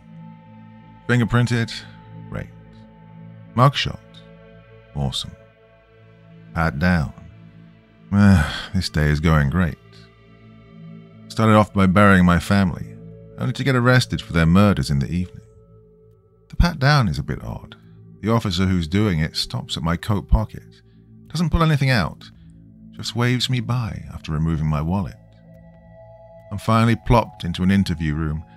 There's a little two way mirror about two feet square, a table, three chairs, counting mine. I notice they're bolted down, which makes sense as I'm sure they don't want folks going full Jerry Springer when being interrogated. Start to contemplate how I wound up here, thinking about where everything's been going and how. Think of a way I can maybe convince the detective who arrested me that his partner isn't who he seems. Could that work? I think of scenarios where, if he was convinced, what would happen? Know Belial can move objects. Saw that firsthand. Something tells me if I hadn't been handling highly sacred objects, he'd be able to pull me too. If I blew his cover, would he just kill us, everyone in this place? Or worse, would he kill his partner, a la Darth Vader, force choke, and spin another frame job on me? Should I even count Belial as a heel? Should I just be using it? Despite all this, I'm feeling oddly calm when I see both of them walk into the room. The black detective sits down and clicks on a recording device which is embedded in the wall. So, Mr. Macchione, I'm Detective Aaron Brown. Just want to ask a few quick questions and then we can all go about our day. I look to Belial, who's letting his partner do the talking for now. I'll be happy to answer them, but I'll say this much I did not murder my family. Detective Brown just nods and smiles. Of course looks down to a file folder, pulling out a piece of paper. So, uh, the day of the events concerning your family's tragic demise, where were you? Belial is smiling wickedly. I was visiting a worksite, near my office. I was looking for some equipment I'd left behind. I say plainly. I'm not entirely lying after all. Hmm, this worksite. How far away from your house was it? Detective Brown continues. About an hour, I say simply. Why, in the middle of the night, did you feel the need to check for this equipment? Why couldn't it wait till morning? Didn't have an answer for this. I tried to think of something that wouldn't immediately put both Belial and Detective Brown at immediate odds with me. I wanted to try and survive this interview without being in jail, which seemed unlikely at this point. Well, your demon possessed partner over there sent me off to get an unholy object, or else he was going to slaughter my entire family. Well, while truthful, probably this would make him think I'm fucking around with them. Despite that being the truth, I decided to stick with my lie. Oh, I was afraid it might get stolen. It was pretty expensive. Well, that makes sense. Now, what piece of equipment was it, you don't mind me asking? Of all the cops in all the world, I get the one competent bastard that can smell bullshit from a mile away, don't I? Remember, folks, get your life straight before you're in the hot seat. It was a sandblaster, fairly large one. Well, at least a couple of grand for that, right? Wouldn't look too good on the old expense report if it went missing, the very accurate detective asks. I nod, and I have a good idea where he's going with this line of questioning but I'm hoping we don't get that. This job was on a Monday and Tuesday, about two weeks ago, right? I nod. Hmm. It's very interesting. Belial now interjects. Why is that interesting, Aaron? Detective Brown looks to me now. Feel free to explain why I find that interesting, Mr. Macchione. Because my schedule at the office don't say I had a job that day, I admit hoping some honesty can be appreciated. The detective bangs his pen on the table three times. we have a winner. He leans over to me, getting uncomfortably close over the table. Your usual crew also doesn't say you had a job. I say what I'm about to say, knowing I'm going to start treading some deep water. Uh, there was a job, but the client preferred to be non public. Non public? Detective Brown's playful smile fades quickly. You know, every time I get a prick like you, one of these, I can't be culpable if I don't know what happened, assholes. You always have another word for it. Confidential. On the down low, under the table, discreet, exclusive. But non public. Well, that's a nice way of putting, uh, my client's probably dealing with some criminal shit. I don't want to know about it. The detective leans back in his chair. What do you say, Mr. Macchione? Am I in the ballpark? I'm quiet now, waiting. I glance to Belial and catch his shit eating grin. I'm starting to sweat, and there's nothing I can do to stop myself.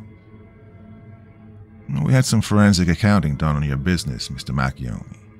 Pretty preliminary stuff, you know. He leans over toward Belial. Should have gone under about a year ago, or at the very least, you should have fired someone. Belial now interjects. Now, dealing a few jobs under the table here and there isn't a big deal, but uh, hundred thousand bucks. That's a shitload extra stuffed into your accounts, Detective Brown says slyly. I look to Belial. That's not how much I have in my business, at least not in the bank. Timothy's case was the biggest score I'd had in months, and this year the under the table stuff didn't come close to making up the difference. Not between all the expenses, equipment, and so on that I had to pay. Did Belial know something? Did he do something? I literally have no idea what you're talking about. So you don't know where a payment of over 30 grand came from in the past month? Say the cash we found in an envelope with a thank you letter that wasn't on your books but was definitely a payment. Such a nice letter, too. Must have done him a hell of a favor. Well, admittedly, he had me there. With everything going the way it was, I never had time to properly handle the cash I got from Timothy's job. Normally, I'd make sure to pay out a bonus or two, buy some equipment, pay off some bills, and always do it with the under the table cash. I suddenly had an epiphany. Because maybe Belial didn't do anything but crunching the numbers of what I'd done that year. Did have two cleanups, but they weren't as high profile. and They did overpay, though. I'm sweating more as I think about whether or not I'm a good person after all. Here I am thinking about how my money laundering didn't go over so well, and I think the average kid dealing weed on the street corner could do a better job. This accounts for this year alone. Our guys are sifting through your books as we speak. We keep on finding gaps in payments and bills paid that never should be paid. Detective Brown cracks his knuckles. Somehow, I do not think your non public clients would appreciate us digging through their dirty laundry.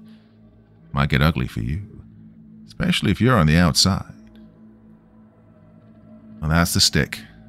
Now this guy is going to give me a carrot. Of course, we could just skip all that. You can tell me, honestly, what happened to your wife and kids. Why the doorknobs were found removed, and why the windows were nailed shut. I'm quiet while I think of a way out. But then I hear Belial's human voice.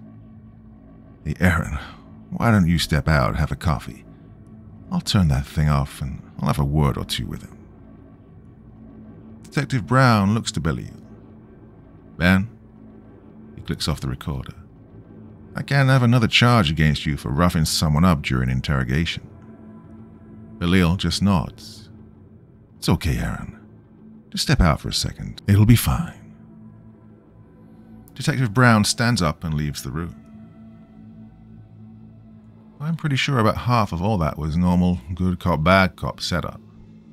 But with Belial alone with me in the room, I'm pretty sure I got the good cop, satanic cop game played on me. Belial wheezes in his normal voice. Ah, that was dull and boring, wasn't it? He leans back in his chair. They still do the chair here, or just lethal injection. I narrow my eyes on him. Lethal injection is fun. A lot can go wrong. Belial's eyes are on me as he leans back, grinning. You can feel your heart and your lungs start to shut down sometimes.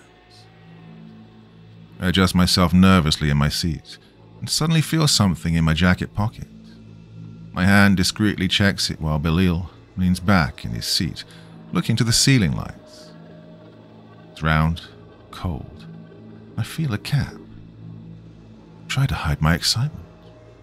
It's the same type of bottle that Sandy and the kids drank. I wonder what it would do if I doused him in it. I also wonder how it even got into my pocket. But I'm much more concerned with what to do now that it's there.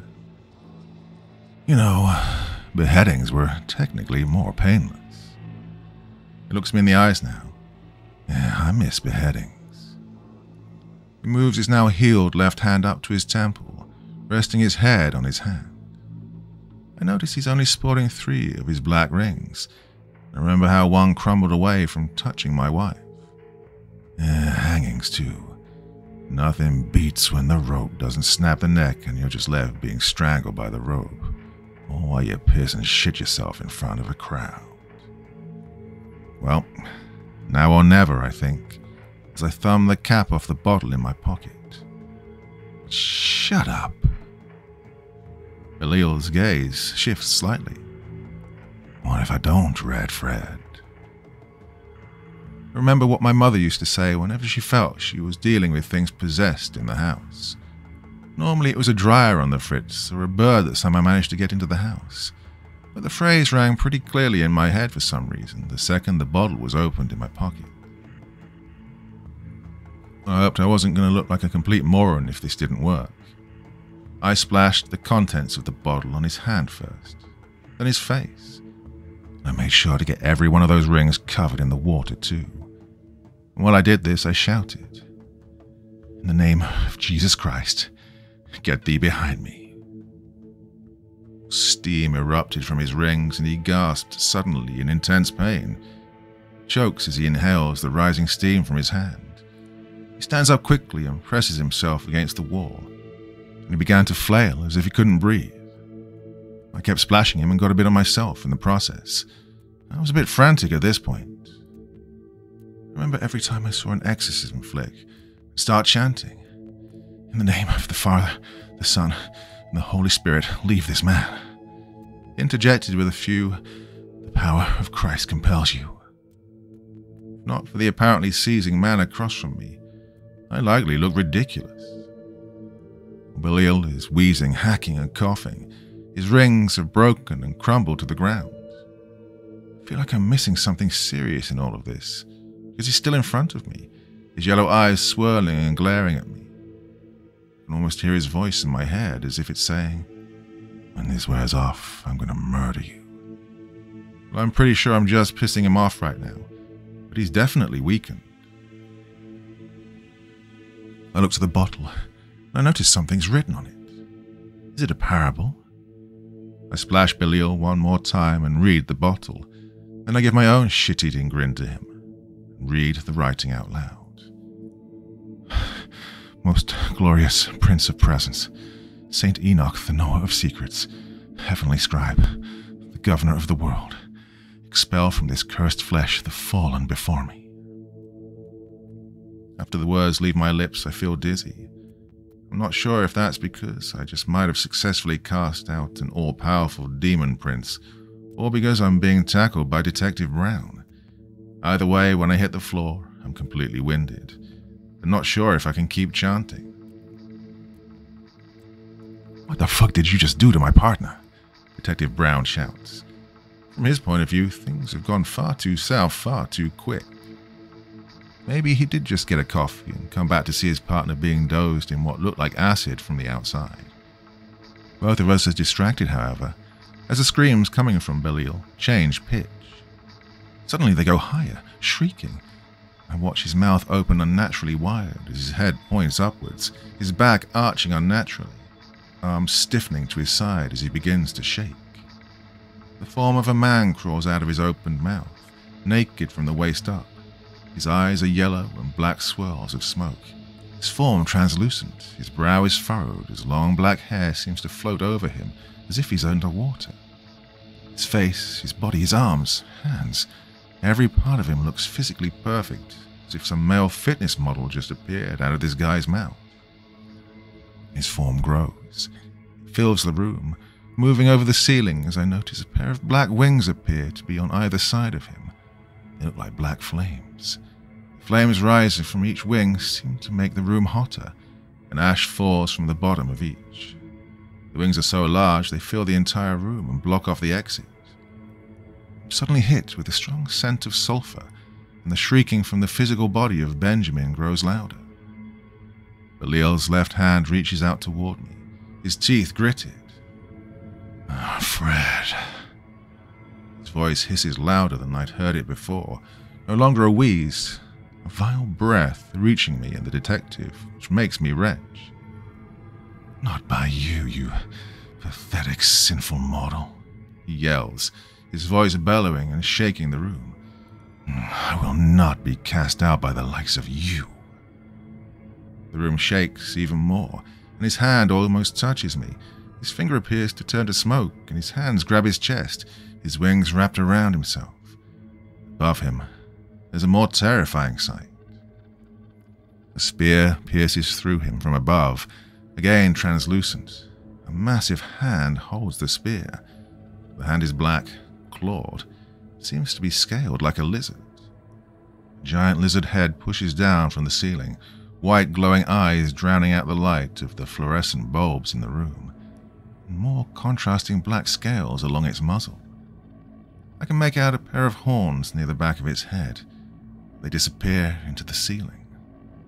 I hear an unearthly roar as the spear is pulled back, then thrust through Belial again, hitting him in the chest, right into where I assume a heart would be if the bastard had one.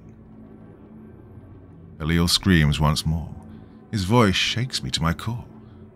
No, no, no, do not send me back.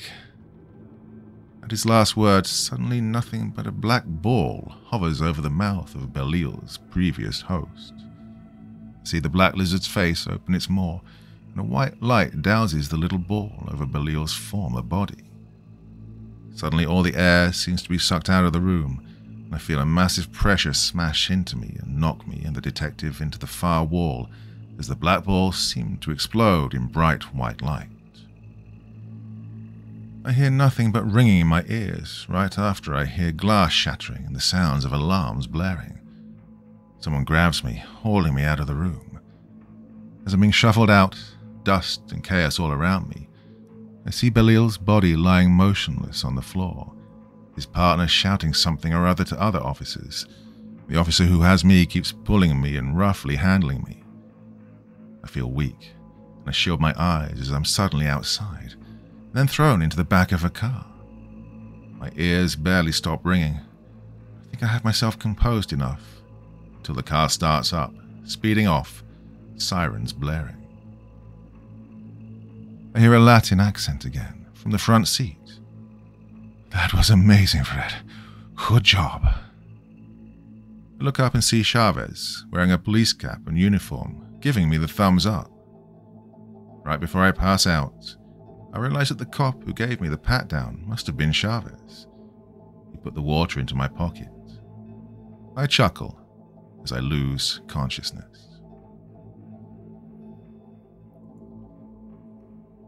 Part 6 I'm woken up by a knocking on the rear window.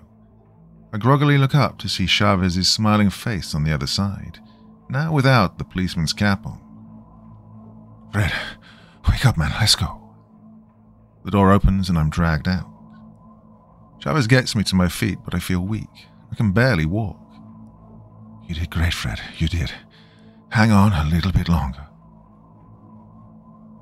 I can't go on. Fall to my knees. Everything's still spinning. Ah, oh, St. Timothy, Chavez shouts. Quickly! Before I know what's going on, I see Timothy rushing towards me. You have to heal his spirit, Chavez says. The exorcism took a toll on him. Okay. I, I don't know, I hear Timothy admit. Chavez grabs Timothy's hand and places it on my forehead. Ask your grandmother. Timothy then takes a breath, and suddenly I feel, well, better. I blink my eyes clear and start to get up off my knees. By the time I'm standing, I look to Timothy in front of me, still wearing his trench coat, looking at his hand curiously. Chavez is thrilled. I told you, Belial's interference wasn't enough to weaken the gift passed on. Timothy nods, seemingly in shock, and then looks to me. You did well, Fred. I lean up against the car and look Timothy in the eyes. So, you're not an angel? Timothy shakes his head, but Chavez protests. he is. Chavez smiles to me, but he's still young and he doesn't know his own strength, Fred. I look to Chavez oddly. How do you know? Because I read, Fred. I read the Bible. He points to Timothy. He's the grandson of Saint Dinah, daughter of Enoch. Timothy just nods. We can talk later, Chavez. I think Fred needs to know where he is. Chavez smiles and points to a two story house. That's your new home. I look around. There seem to be a few homes sprinkled here and there. It looks like I'm in the middle of a Midwestern bumfuck nowhere. Timothy and Chavez make their way down the walkway toward the two story home, and I follow. When Timothy gets to the door, he knocks three times. Yeah, Fred's here, Timothy says as he knocks. The door opens, and I see Sandy's smiling face. I run past Chavez and Timothy, and I hug and kiss her for what feels like too short a time, right up until I get a firm punch to the shoulder. Timothy and Chavez both wince. Never take a job like this again, she says. You were scared half to death. She takes a deep breath. Also, we're going to start going to church, like a lot. God, I thought you were dead. You and the boys. I said softly. Suddenly, Sandy is glaring at Timothy. Oh, you did, did you? She charges at Timothy and proceeds to hammer his shoulder a few times, punctuating each hit with a word. Timothy, how dare you do that to him? Timothy gasps in pain. I'm sorry, Sandy. She turns around sharply and walks inside. Boys are playing video games right now, and they won't shut up about how the internet sucks. Now get in here while I try and figure out dinner. I hear a litany of other complaints from her, from the stove to the refrigerator and the like, which is typical of her. I walk inside, relieved to find my wife safe and still slightly crazy, and greet my two boys. For the first time in weeks, I feel happy and free. After dinner, when my boys challenge Chavez to a round of some first person shooter, I see Timothy in the backyard, looking out over more than an acre of property, apparently mine the sun setting in the distance. I walk toward him, looking him over. So, how old are you? 25, Timothy says. Jesus, I have 15 years on you, I say plainly. Timothy nods. How exactly are you an angel? Timothy shakes his head. I'm hardly an angel. Certainly not a saint like Jorge keeps calling me. So, what are you then? At best, half angel, half. Looks far away into the sky. Oh, monster. Care to elaborate? I'm done being in the dark. So we're breaking the no questions asked policy. He smiles as he turns to me. I nod. Yeah, because I won't be doing that anymore. I shudder. I was worried enough about the cops finding out what I did, but. Uh, take a deep breath. Well, I guess I didn't realize what else was just as interesting. Timothy just chuckles. Well, to answer your question, I'm the grandson of Dinah and Enoch, who is the daughter to Enoch, of course, known as the Metatron, the voice of God. Enoch, that's the guy I shouted about in front of Belial. Timothy nods. Most exorcisms don't go that well. Part one is getting the name of the spirit infesting the body. Part two is ensuring you have the correct angel to get the job done. On most possessions, you can invoke Michael, the archangel, and they'll go screaming because Michael's the commander of God's army. Half the time, Michael will actually delegate the task to a lesser angel, but that depends on the individual's faith and resolve. It can drive out most lesser demons. Now, for Belial, we needed bigger guns, but a stronger resolve. That's why we needed you, seeking justice and retribution. Otherwise, you may have died. Timothy frowned to me. That's why I had to make you believe Belial had killed your family. It was hard, I can't lie. Try to let that not sink in. So, you can't lie at all? As a descendant of Enoch, it's kind of in my blood. I mean, someone who speaks for God has to lack the ability to lie, of course. I try to think of a time when Timothy lied to me. But while he withheld information, he never did lie. My family's souls were safe, that was true, and he didn't even lie about the blood or how long it was there. Also explains why he was shit at haggling. That means you talk to God. The Metatron speaks for God, right? Timothy sighs and shakes his head. My mother was stolen from Dinah when she was a child, stolen by none other than Belial. He corrupted her, filled her with hatred and despair. She had me with a, let's just say, a mass murderer, a fallen prophet. One of the people who destroyed the temple we had to restore, actually. So, that's the monster have? I ask. Yeah. Timothy places his hands in his pocket. My mother left me alone with my father, so I never learned what she knew. Never even met her. He takes another deep breath. One day I ran away from him, found the entrance to the Guardian Temple. The only thing that comes naturally is my ability to do this, he said with an outstretched hand as a pair of doors appeared in the yard out of nowhere. I look, and inside, now well lit, is the room I was so used to working in but had no desire to visit again. I used its gates to come to this world, joined the military, rose up the ranks, and gained influence.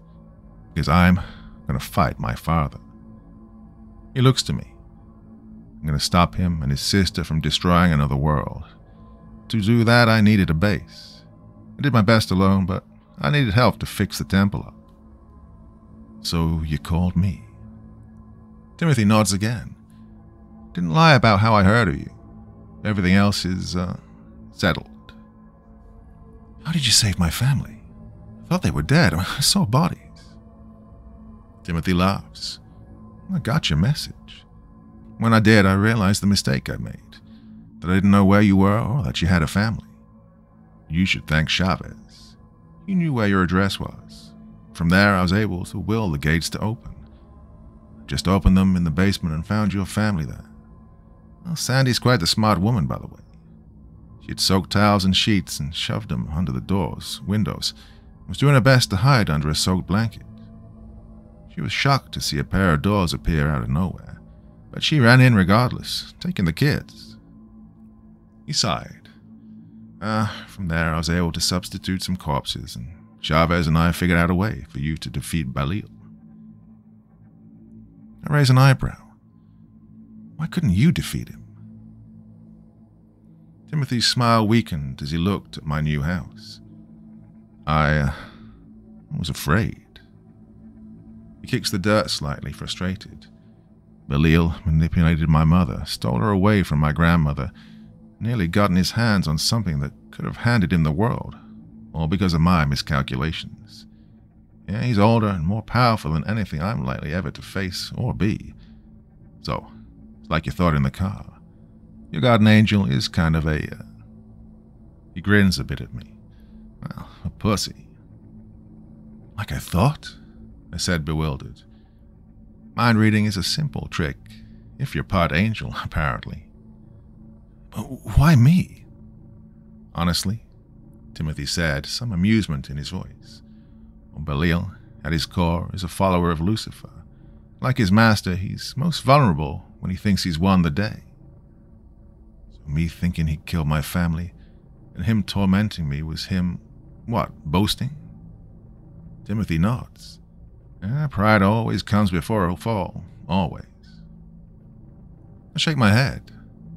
So I get why I help, but you couldn't call in reinforcements for a thing like Belial? Timothy's smile falls. Fred, I am the reinforcements. I felt my stomach fall a bit. What do you mean? Timothy looks to the temple entrance in front of us. Angels existed on this plane because God needs them to perform his miracles. God, while omnipresent, is also omni-absent. The angels serve his desires and he directs them from time to time. He looks to me. Think of it as every time God blinks, a few hundred years pass. He can only invoke his will directly from time to time when directly called upon by someone of extremely strong faith. I look to the temple doors again. So, um, that temple, the Guardian Temple, where God's angels amass to coordinate His will, choose prophets, create miracles, led by the Metatron. Recall the blood I had to clean up. So, wait, you mean. Uh, they're gone. Murdered by what is, in essence, my aunt and my father. I'm all that's left.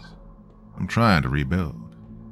So for now, we need to lean on the resolve and faith of mortals like you. He smiled at me. Now I don't feel so helpless. I feel like there's a chance, however small. Timothy looks at the open gates with a faraway gaze. We are losing, however. I'm not sure how long it's going to take me to recover and get the upper hand. How long do you need? I ask like I could do anything. 15, maybe 20 years. Which reminds me, I need to get back to work. Timothy gives out a sudden whistle. Chavez and I should go. We've caused you enough trouble. Chavez, still? I laugh. What do you need him for?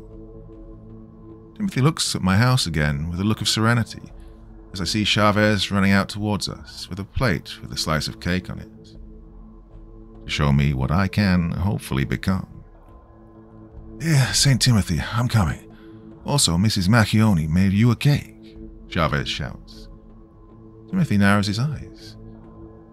I swear, Chavez, if it's angel food cake. Chavez just smiles broadly at the pun.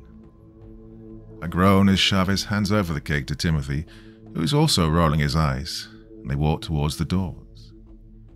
Timothy stops before closing them. If you need me again, you have my number. Doors close and vanish into thin air. Hey, I hope I never see you again, I say out loud as I head into my new house. Epilogue Ten years later, and I work in restoration. On the weekends, my new crew and I check out churches in need of repair and free of charge work on restoring their stonework. We do it as charity. Nothing but the raw materials are paid for. Usually the priest takes up a collection via the old school plates, or we get it done by a crowdfunding website. My new guy Devon is on the second floor of this church, overlooking the center aisle, checking out a stone pillar in bad shape. Fred, this thing can't be secured. We're gonna have to get some temporary supports for the roof and literally rebuild it from the ground up. Knock out the old, bring in a new one, whole nine yards. Uh, Padre's not gonna be happy. Devon shouts down. He can pray for it to be fixed, but unless God sends mason angels, it ain't happening. Ask and ye shall receive. The priest of the church apparently overheard us, and he walks toward me. Dare I ask, I'm sure that's expensive. I nod. I'll get a quote together for you and see what we can do, Father. He nods. And I'll call my insurance company after I pray to God to help me through the customer support robots. Priests all have terrible jokes, by the way. Something you learn when working in multiple churches.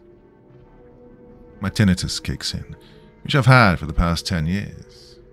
I wish it was the normal sort, where you can hear a high pitched ringing, but it's not. It's a high pitched scream. the sort I heard when Belial was cast out. I pull out some eardrops, which I keep in the same bottle that Chavez gave me. Screaming stops pretty quickly. The priest looks at the bottle for a moment. St. Enoch? Obscure. I laugh. It was a gift from a friend of mine, Timothy. The priest nods. Ah, that makes sense that he's named Timothy. I looked at the priest oddly. Why does it make sense? The priest smiles at me. Well, my boy, Timothy means follower of God. I smile and nod. Yeah, that's him. One of the nuns runs up to us. Father, something's happening on the news in Jerusalem. The priest turns and follows her, and I follow out of my newfound curiosity. We all head into a back room with a television in it. Two other nuns are inside, glued to the TV. Looks like an overhead shot of destroyed streets, and the headline reads, Terror in Holy Land. I see a little I 24 logo in the corner. Never heard of the channel before, personally. Oh, I'm sure it's just hyperbole, sisters, the priest starts.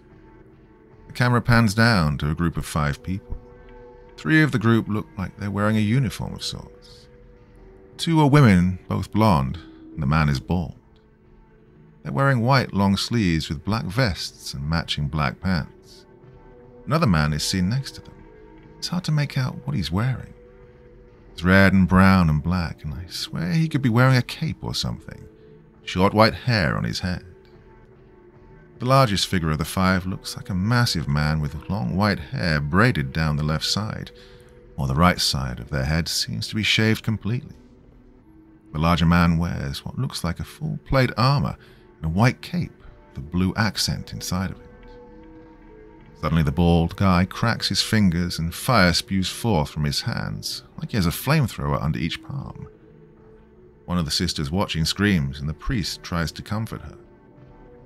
The anchor man on the TV feed chimes in. Uh, looks like they have some kind of advanced weapon systems. It seems attack helicopters are being called in. Oh my god. Camera shakily changes as the white figure is suddenly in the air and a pair of white wings have unfolded from behind. In an instant, something suddenly springs from the angel's back, lands in its hand, and smashes into the helicopter, destroying it in an explosion of fire before the figure flaps their wings again, blasting the debris away and diving at the next helicopter, jabbing the object that was pulled out into the helicopter closer to the camera. I lunge for the remote and hit the pause on the TV. Frozen on the screen it's clearer to see it's not a man, but an absolute monster of a woman. In her hands is a massive sword, huge and bulky, yet she seems to wield it without much effort. Looks like there's a blue Omega symbol on one of the shoulders of her white armor. I recall what happened to the helicopter as she swung at it, destroyed in a single blow. I remember the bloodstains of the temple as my hellish tinnitus kicks in again. I remember the gash in the floor as I spot the sword on the screen, Mike's voice echoing in my mind. Oh, this looks like one clean cut. The voice of the woman who Timothy was talking to in the temple behind the barricade, and I remember what she said over the sound of the machinery. It was her, wasn't it? The daughter of Lucifer. One of the nuns asks, Is. is that an angel? My face goes pale as I realize who this is, what she can do, and what she has done. They're here now, the people Timothy's trying to stop. I try to fathom if Timothy has had enough time to get ready, and if we have any hope at all. The priest suddenly starts to speak behind us all. I heard voice in the midst of the four beasts, and I looked, and behold, he points at the screen ominously, his hand shaking. A pale horse, and his name that sat on him was Death, and hell followed with him.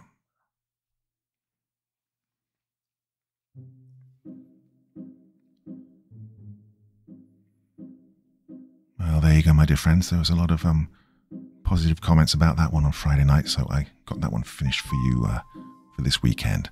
Uh, very, very interesting story. I love these um, ones that sort of bring in uh, religion and mythology and treat it as if it's all, you know, real and stuff.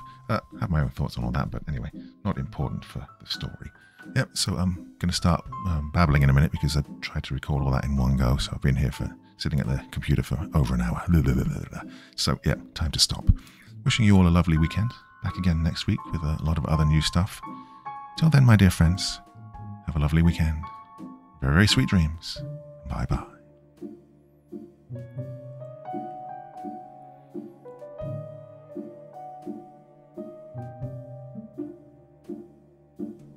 Thank you so much for taking the time to listen to this story today. Really means a lot to me and to the author of the story, of course.